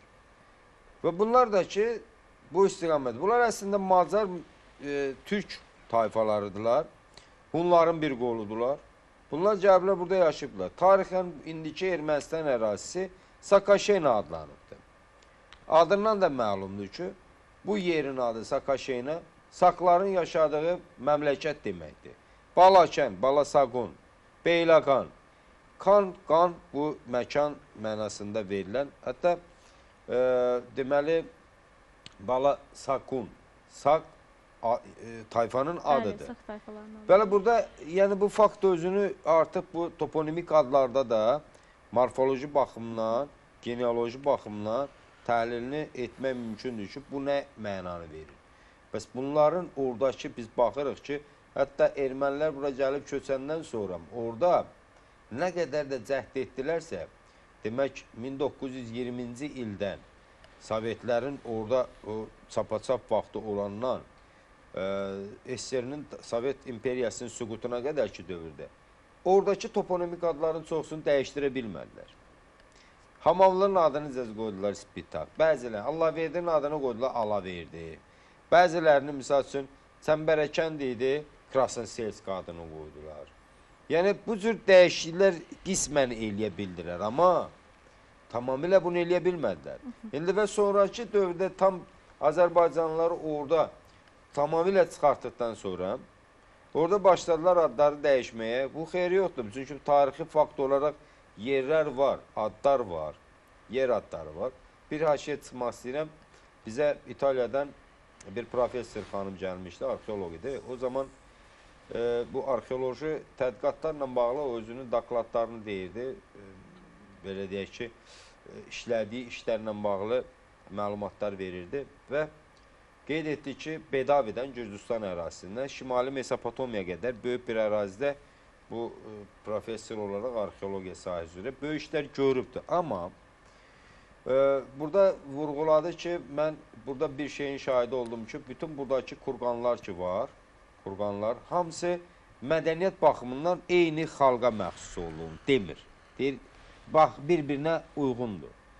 Və e, bu danışdı və mən burada qeyd etdim ki, buna ki, bəs özü istəyirəm, burada Qarabağ bölgəsində 850-dən çox kurqan var. Və siz deyirsiniz, bu coğrafi arealda tədqiqat iş aparmısınız və hamısı bir-birinə yaxındır. Təsəvvür edin ki, mən buna sualı verdim ki, sizdə belə bir fikir yaranmırmı ki, bu vahid bir xalqa məxsusdur? O Bəli. orada o suala cavab verməkdən qaçdı. Aha. Elə siz bu ə, maraqlı bir faktı bizim nəzərimizə çatdırmışkən izləyicimizdən də bir ə, maraqlı fikir gəlib, elə sözün yerinə düşən bir fikirdir. Yazır ki, salam, hər vaxtınız xeyir olsun. Xocalı faciəsindən danışırsınız. Bəs o dövrlərdə Xocalı sakinlərinin başına gətirilən hadisələrdən sonra dünyada Azərbaycanı səhv çıxartmağa çalışan insanları unudaq. Onlar ki, sanki ermənilərə qarşı törədilmiş bir soyqırım kimi bunu qələmə verməyə çalışırdılar. Elə bil biz bu hadisəni törətmişdik, sonra ermənilərin adına çıxartmışdıq. Heç özümüz də bilmədik kim haqlı idi, kim haqsız idi. Biz elə özümüz də bəzən bu kinayə ilə yanaşırdıq ki, görəsən niyə belə bir yanaşma tərzi var bizə qarşı və qeyd edeyim, erməni ədəbiyyatında belə Azərbaycan xalqına qarşı törədilmiş bir çox soyqırımların əksəriyyəti həqiqət kimi yazılır. Yəni sanki biz onlara qarşı törətmişik. Bunu mən şəxsən oxumuşam və bu haqqda geniş də məlumatım var. Təsdiqini də lazım olan yerdə söyləyirəm deyir ə, Nübar xanım. Əslində ə, biz bilirik ki, ümumiyyətcə ə, düşmənin də dilini bilmək lazımdır. Çox önəmli bir məsələdir və ə, ədəbiyyatda məhz Azərbaycan xalqına qarşı aparılan etnik bir siyasət hələ də davam etdirilirmiş ki, Nübar xanım da vurğulayır ki, sanki biz onlara etmişik, onlar heç vaxt bizə qarşı belə bir hərəkət etməyiblər kimi qələmə verilib. Buyurun Səltənət xanım. Ə, Düşünürəm ki, bu ə, ermənilərə ə, xas olan bu xüsusiyyət heç birimizi təəccübləndirmədi. Çünki tək ədəbiyyatda yox, bir çox sahələrdə mahnılar, istər mətbəx, ə, hər bir sahədə biz rast gəlirik, eşidirik, dəfələrlə oxumuşuq, görmüşük ki, ermənilər Azərbaycana məxsus olan hər hansı ə, bir şeyləri öz adlarına çıxardırlar, bizimdir deyirlər. Yəni bu ə, məsələ ilə bağlı ə, ilk dəfə sizdən eşitmirəm, dəfələrlə eşitmişəm. Düşünürəm ki, ə, onlar ə, bu prosesə bu prosesi özlərindən yayındırmaq üçün çünki düşünün Xocalı faciəsi tək Xocalı faciəsi yox, ermənilər tərəfindən Azərbaycana qarşı törədilmiş bu qırğınlar, dəhşətlər həqiqətən də insanda insanın qanını dondurur. Və bu məsələlər düşünürəm ki, böyüdülsəydi, hər hansı bir dünya mətbuatı bizim tərəfimizdə dursaydı, yəni erməniləri hansı ə, qarşı durmalar, hansı reaksiyalar gözləyirdi, bu hamımıza məlumdur. E, ona görə də e, onlar bu kimi addımlarla bizim mədəniyyətimizi, bizim ə, ədəbiyyatımızı öz adlarına çıxarmaqla sanki özlərini haqlıymış kimi göstərirdilər və düşünürəm ki, bu müdafiə həmləsi ilə də, variantı ilə də onlar vəziyyətdən çıxmağa çalışırdılar. Amma bir məqamı da vurğulayım ki, bizim ədəbiyyatda heç də bu məsələdə geridə qalmır. E, kifayət qədər Azərbaycana qarşı edilmiş haqsızlıqların bədii əsərlərdə, istər şeirlərdə, istər poemalarda kifayət qədər nümunəsi var ki, Xocalıda baş vermiş dəhşətləri, bizim millətə qarşı baş vermiş dəhşətləri qələmə alan kifayət qədər şair və yazıçılarımız var və mən düşünürəm ki, mənim və mənim kimi bir çox müəllimlərin də ə, elə vəzifəsi tək dərslikdə olan yox. Elə bu cür şair və yazıçıların yazdığı digər əsərləri də şagirdlərimizin, gələcək nəslin diqqətinə çatdırmaq, xatırlatmaq ə, və onların milli yaddaşına həkk etməkdir. Səltənət xanım, bu missiya necə həyata keçirilir? Bu faciələri, Xocalı faciəsi olsun, istər digər ermənilər tərəfindən törədilən bu faciələri ə, uşaqlar necə canlandırırlar və yaxud da uşaqlara necə ötürülür müəllimlər tərəfdə məktəbdə? Ə, mən bu məsələyə iki cür yanaşmaq istəyirəm. İlk olaraq düşünürəm ki, bəli, bunları şagirdlərə ə, aşılamaq lazımdır, çatdırmaq lazımdır, oxutmaq lazımdır. Hətta müəyyən səhnələri onlarda ə, canlandırmağına, rollu oyunlar vasitəsilə canlandırmağına şərait yaratmaq lazımdır ki, onlar bu acını duya bilsinlər. Çünki reallıqdır ki, yaşayan insanla kənardan eşidən insanın hissləri e, eyni olmaya bilər. E, amma e, ikinci e, tərəfini düşünürəm. Bayaq kino ilə bağlı da biz bu məsələdən danışdıq müəyyən səhnələr var ki, o qədər canlı, o qədər real təsvir olunur ki, o səhnələri şagirdlərə ə, səhnələşdirmək, şagirdlərin onu yaşaması ə, mənə görə ə, tam da doğru yanaşma deyil. Çünki bu ə, şagirdin beynində, o yaşda olan uşağın beynində travma yarada bilər. Hətta mən ə, eşitmişəm bunu bir neçə yerdə oxumuşam ki, həmin ərəfələrdə bu çəkilən filmlərə baxan insanlar ə, həyəcandan ölən insanlar olub. Yəni bunu yəqin ki, siz də eşitmisiniz. E, ona görə də e, baxır əsərlərə mən e, bu yolu seçirəm ki, ilk öncə əsər özüm oxuyuram. E, orada müəyyən səhnələri uşaqların e, nəzərinə çatdırıram. Əgər orada həqiqətən də uşaqların göstərə biləcəyi, onlara bir hər hansı bir problemin yaratmayacağı səhnələr varsa, o səhnələri şagirdlərimlə çalışıram ki, onlar hiss edərək, onlara maraqlı olan tərzdə səhnələşdirim və onlar da bu prosesləri, bu hissləri unutmasınlar ki, gələcək gələcəkdə də onlar da öz övladlarına və ya şagirdlərinə ötürə bilsinlər. O emosiyaları necə büruzə verirlər? Deyirsiniz ki, o səhnələri siz özünüz seçirsiniz və uşaqların yaş dövrünə uyğun olan səhnələri canlandırırsınız. Emosiyaları necə olur uşaqların? Necə büruzə verirlər o hisslərini? Ümumiyyətlə bizim xalq həqiqətən çox vətənpərvər xalqdır və uşaqlıqdan ə, şagirdlərə bu vətənpərvərlik duyğusu istər ailədə, istər məktəbdə aşılandığı üçün ə, şagirdlər sanki o hadisələrin içində olublar. Mən bunu tam mübaliğəsiz deyirəm sizə. Sanki o duyğuları yaşayıblar, özlərini başqasının yerinə qoymaq, o empatiya duyğusu ə, bizim xalqda, bizim uşaqlarda həqiqətən çoxdur. Mən bunu şagirdlərimin simasında dəfələrlə görmüşəm ki, o prosesləri elə canlandırırlar ki, sanki o insanların yerindədirlər, hiss edirlər bunu. Əslində hiss etməkləri ə, bu gün qələbəni hiss etməkləri istəyirik və bu hissləri hiss edərək qarşısındakı insana çatdıran bir azyaşlı ə, öz rolunu nə qədər uğurla yerinə yetirir, bu önəmli bir məsələdir. Biz indi keçid alaraq fasiləyə, fasilədən sonra yenidən qaldığımız yerdən davam edəcəyik. Siz isə heç bir yerə ayrılmayın. Bəli, indi isə məhz fasilədən sonra dostlar rubrikası ilə davam etmək istəyirik. Əslində biz Xocalı soyqırımını müzakirə edərkən illər boyunca, yəni Xocalı işğaldan azad olunana qədər hər zaman Xocalı soyqırımını təsvir etmək üçün yaradılan bir çox səhnəciklər var idi və bu səhnəciklərdə, səhnələrdə həmin orada rol alan gənclərin simasında, üz ifadəsində və sözlərində bunu qarşılarındakı insanlara çatdırmaq istəyirdilər. İndi isə bizim dostlar rubrikamız var. Gəlin onu izləyək.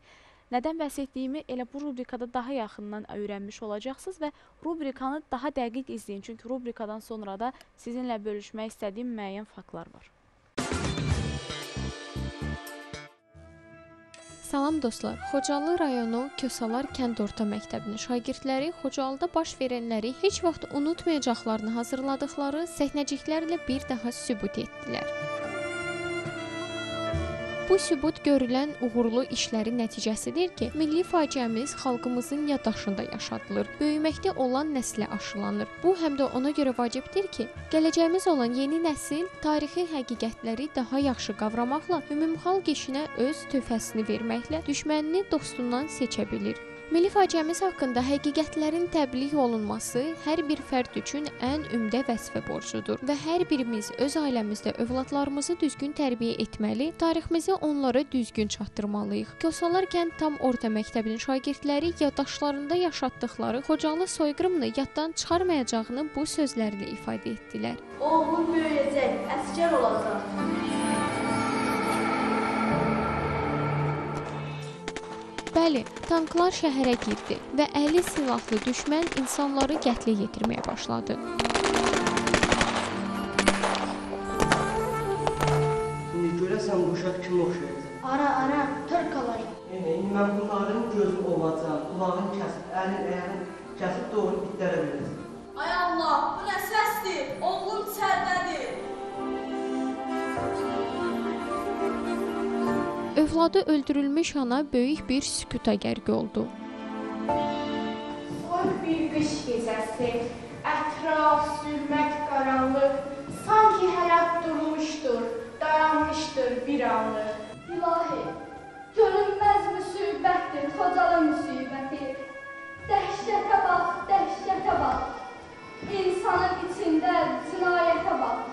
O gecə inandım, inandım ki, mən insanın ürəyi daşdan olarmış.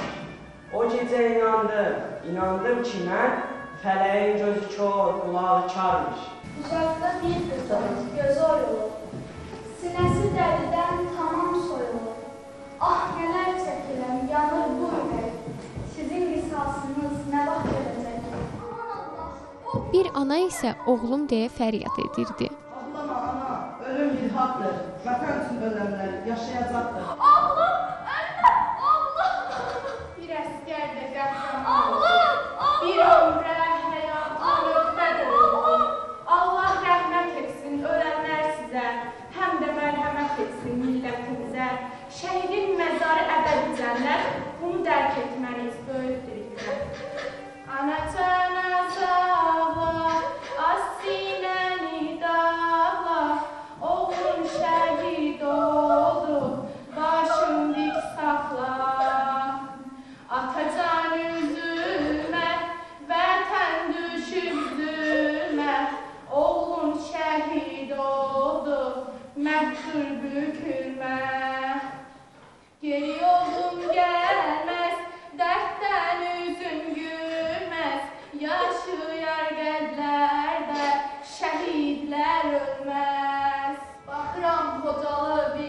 görünür, hər kəsin gözləri viran görünür.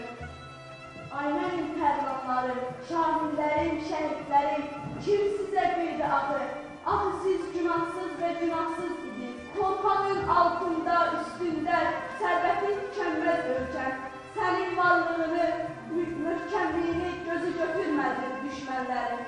Nələr gəldi başına, nələr gördü gözlərim. Görünməyən böhtanlar, şərlər gördü gözlərim. Necə dinləyim Allah, necə nalə çəkməyim. Bağrımı qan eylədi, Xocalı, ay Xocalı. Eşidin, eşidin ey qeyrətlilər, gecənin bağrında qız harayını. Qumbatdakı körpələri diri-diri yandırmaqla, günahsız qocaları çalınta çəkməklə, Qızların qeyrətinə əl atmaqla, igid oğulların nərini kəskə yandırmaqla. Azərbaycana gözdağı vermək istəyənlər, eşidin, eşidin ey qeyrətsizlər. Bu xalqa gözdağı vermək istəyənlər, amma bunları bilin ki, Azərbaycan xalqı əyilməz, bükülməzdir. Beləliklə, bütün bunlar onu deməyə əsas verir ki, milli yaddaşımız bütövdür, tamdır. Xalqımızın keçmişi, Azərbaycanlılara qarşı törədilmiş faciələr milli yaddaşımızda qorunaraq gələcək nəsillərə ötürüləcək.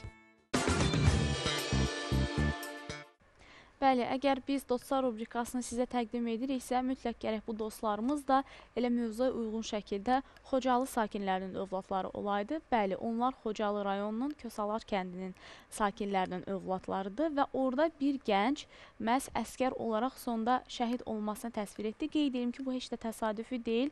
Elə həmin o gəncin atası Məmmədov Elnur Xurşud ə, oğlu da şəhid olub Vətən müharibəsi zamanı. Qeyd edim ki, gəncimizin adı Vahid idi və qeyd eləyək, bunun üzərində də dayanaq ki, həmin elə Xocalının alınmasına da iştirak edən bir çox bizim hərbiçilərimiz də elə Xocalının öz sakinləri idi və həmin o Vahid adlı dostumuzun atası Murovdağ uğrunda gedən döyüşlərdə şəhid olub.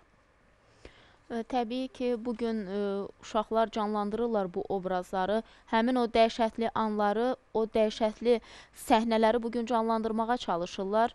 Ə, Lakin bu sadəcə səhnədən ibarət deyil, çünki bizim səhnələrdə gördüyümüz, bu tamaşalarda gördüyümüz həmin o obrazlar, həmin o qəhrəmanlar məhz 44 günlük ə, müharibə tarixində ə, bu 44 gün ərzində bütövlüklə Qarabağı azad etməyə qadir oldular və həmin bax bu uşaq vaxtından, az yaşlarından onlara aşılanan vətənpərvərlik ruhu, vətənpərvərlik hissi və təbii ki, burada müəllimlərin, valideynlərin üzərinə çox böyük məsuliyyət düşür ki, ə, bu cür vətənpərvər ruhda böyüyən uşaqlar tarixini unutmayan və tarixi anları, bu tarixi dəhşətləri, faciələri yaşayaraq əyani şəkildə hiss etdirməyi onlara bacaran valideynlər və müəllimlər idi ki, bu cür ə, vətənpərvər ruhda övladlar, oğullar böyütdülər. Onlar isə bizim qələbə çalmağımızda çox böyük bir rol oynadılar. Amma Çiçək, mən sənə bir ə, məqamı da vurğulayım. Ə, mən ə, illər əvvəl başqa bir ə, qonşu dövlətdə idim və orada ümumiyyətcə Azərbaycan dilini bilməyən, orada doğulub, orada böyümüş bir Azərbaycanlı ailənin övladı var idi və onda yeni-yeni müəyyən platformalar artıq ə, video çarxların təqdimatına başlamışdı. Xocalı faciəsi ilə bağlı bir video çıxdı qarşımıza və o qədər də yaxşı bilmirdik necə istifadə etməliyik.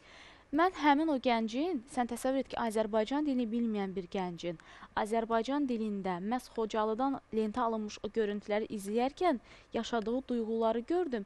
Mənə elə gəlir ki, heç valideyn də, müəllim də deməsə, bizim gənclərimiz ən azından o bir dəfə, onun bir dəqiqəsini belə izləsələr, onlar üçün bəs edir ki, damarlarla, damarlarında, qanında, qəlbində o hissi yaşasınlar. Yəni heç çox zaman mən elə gənclər tanıyıram ki, atası, anası ona saatlarla gün ərzində vətənpərvərlik dərsi keçməyib və yaxud da məktəbdə müəllimləri deməyib.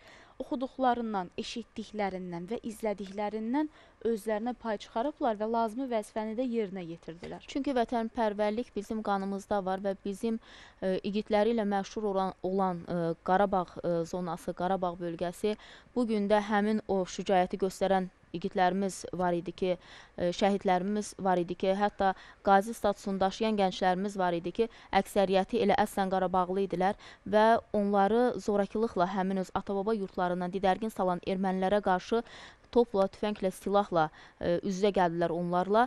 Elə sizin də fikriniz maraqlıdır. Bu gün uşaqlarda ə, vətənpərvərliyə qarşı, baxın bu cür ə, tarixi hadisələrə qarşı, bu cür soyqırımlara qarşı maarifləndirmə necədir? Onu qeyd etmək istəyirəm ki, mən özüm də müəlliməm. Xocalı rayon Koçaraq kənd tam orta məktəbində informatika müəllimi çalışıram. Eyni zamanda Xocalı Səsi qəzetinin redaktoruyam. Bir neçə il bundan əvvəl qələmimizi süngüyə çevirək devzi altında Buqan yerdə qalmaz adlı inşa yazı müsabiqəsi təşkil etmişdik.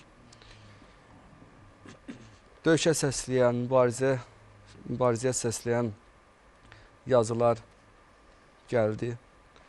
Bütün məktəblərimizdən şagirdlər fəallıqla iştirak etdilər. Yəni biz bütün faciələrimizin il dönümündə şagirdlərə dediyimiz bu idi ki, düzdür, başımıza müsibətlər gəlib, faciələr gəlib. Ancaq bunu düşmən öz havadarlarının köməyi ilə eləyibdir. Azərbaycan xalqı döyüşkəndir, mübarizdir, əzmkardır. Məhz biz bunu vətən müharibəsində sübuta yetirdik.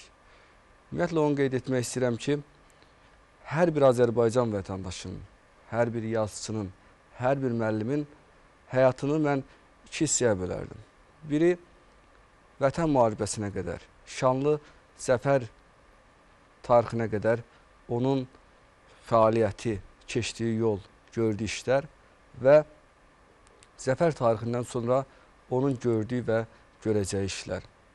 Biz bu il ərz illər ərzində şagirdlərimizi, yeni yetirmələrimizi, gənclərimizi döyüşkən ruhda tərbiyə etdik və onun nəticəsidir ki, biz vətən müharibəsində şanlı qələbə əldə etdik. Xocalı sakinləri də, Xocalı gəncləri də vətən müharibəsi vətən müharibəsinə könüllülüklə qoşuldular. Onlar Birinci Qarabağ müharibəsinin igid döyüşçülərinin, qəhrəman döyüşçülərinin şərəfli döyüş yolunu ləyaqətlə davam etdirdilər. Və biz nəhayət ki, verilişimizin sonuna gəldik, çatdıq. Çox maraqlı oldu sizinlə bu cür ə, mövzunu müzakirə etmək. Həqiqətən istəməzdik ki, biz ə, gündəmimizdə bu cür faciəvi halları müzakirə edək. Ancaq ə, bu hadisəni real şəkildə yaşamış bir insanla ə, bu mövzunu müzakirə etmək də maraqlı oldu. Çox sağ olun, öz vaxtınızı ayırdınız, qonağımız oldunuz. Verilişimizin sonuna gəldik, çatdıq. Bu gün Xocalı faciəsinin il dönümünü müzakirə etdik və bu günə dair sizin də son sözlərinizi eşitmək istəyirdik. Deməli bu gün bizim burada müzakirə etdiyimiz məsələ bu e, yalnız və yalnız bir tarixə qayıdıb baxmaq deyildir. Bu gələcək nəslin tərbiyəsində mühüm rol oynayan bir faktdır. Biz elə auditoriyalarda gənc nəslinin bir vətənpərvər kimi formalaşmasında Xozalı faciəsi, digər Azərbaycan xalqının tarixində başına gələn o faciələri də həm tarix dərslərində keçir. Eyni zamanda o müəyyən günlər var, xüsusi günlər. Onlar da xüsusi olaraq qeyd edilir fakültədə. Universitet rəhbərliyi sağ olsun böyük Yusuf müəllim böyük bir e, belə deyək ki, şərait yaradıbdır. Fakültə dekanı da Urfan müəllim də elə e, digər yoldaşlar da bununla bağlı çox böyük işlər görür. Sərgilər keçirdirik. Məsəl üçün tələbələr arasında məsəl üçün bunlarla bağlı e, müəyyən elmi konfrans kimi belə bir praktik seminar kimi tədbirlər keçirdirik. Tələbələr öz e, baxışlarını, tarixi faktlar əsasında tədqiq edərək e, sunurlar öz fikirlərini, öz müraciətlərini. Əlbəttə ki, bütün bunların hamısı e, gələcək nəslin vətənpərvər kimi formalaşmasında, tərbiyə olunmasında böyük rol oynayır. Təşəkkürümüzü bildiririk Etibar müəllim. Tarix faktlar nəzərimizə çatdırdınız və Səltənət xanımın da son sözlərini eşitmək istərdik. Dəvətiniz üçün təşəkkür edirəm. Mövzu həqiqətən genişdir. Bu haqda çox şey danışa bilərik. Mən də fəaliyyətimizdən bir neçə cümlə demək istəyirəm. Bir nömrəli məktəbdə, tək mənim çalışdığım məktəbdə yox, bütün məktəblərdə bu xüsusi günlərə müəllimlər də, şagirdlər də həssaslıqla yanaşır. Bu tarixin unudulmaması üçün əlindən gələni edir. Xüsusi günlərdə keçirilən tədbirlər, görülən işlər, şəhidlər xiyabanının ziyarət olunması, istər şagirdlərin müəyyən əsərlərdən səhnəcikləri real şəkildə göstərməsi, o duyğuları yenidən yaşaması xüsusi əhəmiyyət daşıyır. Bir məqamı da vurğulamaq istəyirəm ki, diqqətinizə çatdırmaq istəyirəm ki, bütün müharibə ilə bağlı yazılan əsərlərdə, bu faciələrlə bağlı yazılan əsərlərdə sonda ə, şairlər və yazıçılar bir məqama toxunublar. Qələbəyə inam, torpaqlarımızın azad olunmağına, gələcəyə inam və intiqam hissini hər zaman təsvir ediblər. Elə o inamın nəticəsidir ki, bu gün biz ə, azad, müstəqil bir ölkədə yaşayırıq. Bütün işğal olunmuş torpaqlarımız azadlıqdadır. Düşünürəm ki, bu hər bir Azərbaycan vətəndaşı üçün xoşbəxtlikdir. Təşəkkürümüzü bildiririk gəldiyiniz üçün. Və Çiçəyin də vurğuladığı kimi əslində belə hadisələri müzakirə etmək bizim üçün çox təəssüf verici bir hissdir. Biz heç vaxt istəmərik ki, bu gündən sonra da Azərbaycan tarixində belə bir hadisələr baş versin ki, nə vaxtsa hər hansısa bir nəslin nümayəndələri bunu müzakirə etsinlər. Zamanında baş verib, bu gün baş verməməsi üçün əlimizdən gələni edirik. Və mənə elə gəlir ki, son söz elə Xocalıları təbrik etməklə ə, yekunlaşdırılmalıdır. Artıq Xocalınız azaddır. Gözünüz aydın olsun.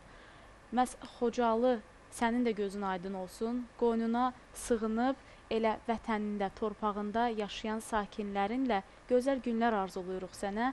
İllər boyunca yaşadığımız bu hadisələr, başımıza gələnlər səni azad etməkdən ötürü çəkdiyimiz qayələr idi. Çox şükür, sən bu gün azadsan, bizim də qəlbimiz rahatdır. Ə, təbii ki, bu faciədə, tarixin bu amansız faciəsində yaxından, uzaqdan rolu olan hər kim varsa, tarix qarşısında cavab verəcəkdir. Əlbəttə onların vicdanları varsa, öz vicdanları qarşısında artıq cavab verirlər. Bəlkə də vermirlər, bunu özləri bilirlər. Ancaq tarix qarşısında mütləq şəkildə cavab verəcəklər. Çünki tarix bu günə qədər heç bir anı, heç bir tarixi hadisəni unutmayıb, bunu da unutmayacaqdır. Bəli. Və təbii ki, Xocalı artıq ə, Azərbaycan torpağıdır və Xocalıda Azərbaycanın üç rəngli bayrağı dalğalanır. Bu isə o deməkdir ki, Xocalılar artıq ə, öz yurtlarına, öz torpaqlarına ayaqyalın qaçdıqları həmin o ərazilərə artıq isti geyimləri ilə, öz ailələri ilə birlikdə geri dönübdülər və öz yurtlarında, yuvalarında məskunlaşıblar. Təbii ki, bu hər kəs üçün çətindir. Yenidən o xatirələri gözlərinin önündə canlandırmaq. Yenə də mən ə, fürsətdən istifadə edib ə, həqiqətən də Xocalı sakinlərini təbrik edirəm. Sizinlə isə yeni gündə yeni mövzu ilə görüşmək ümidi ilə sağollaşırıq. Hələlik.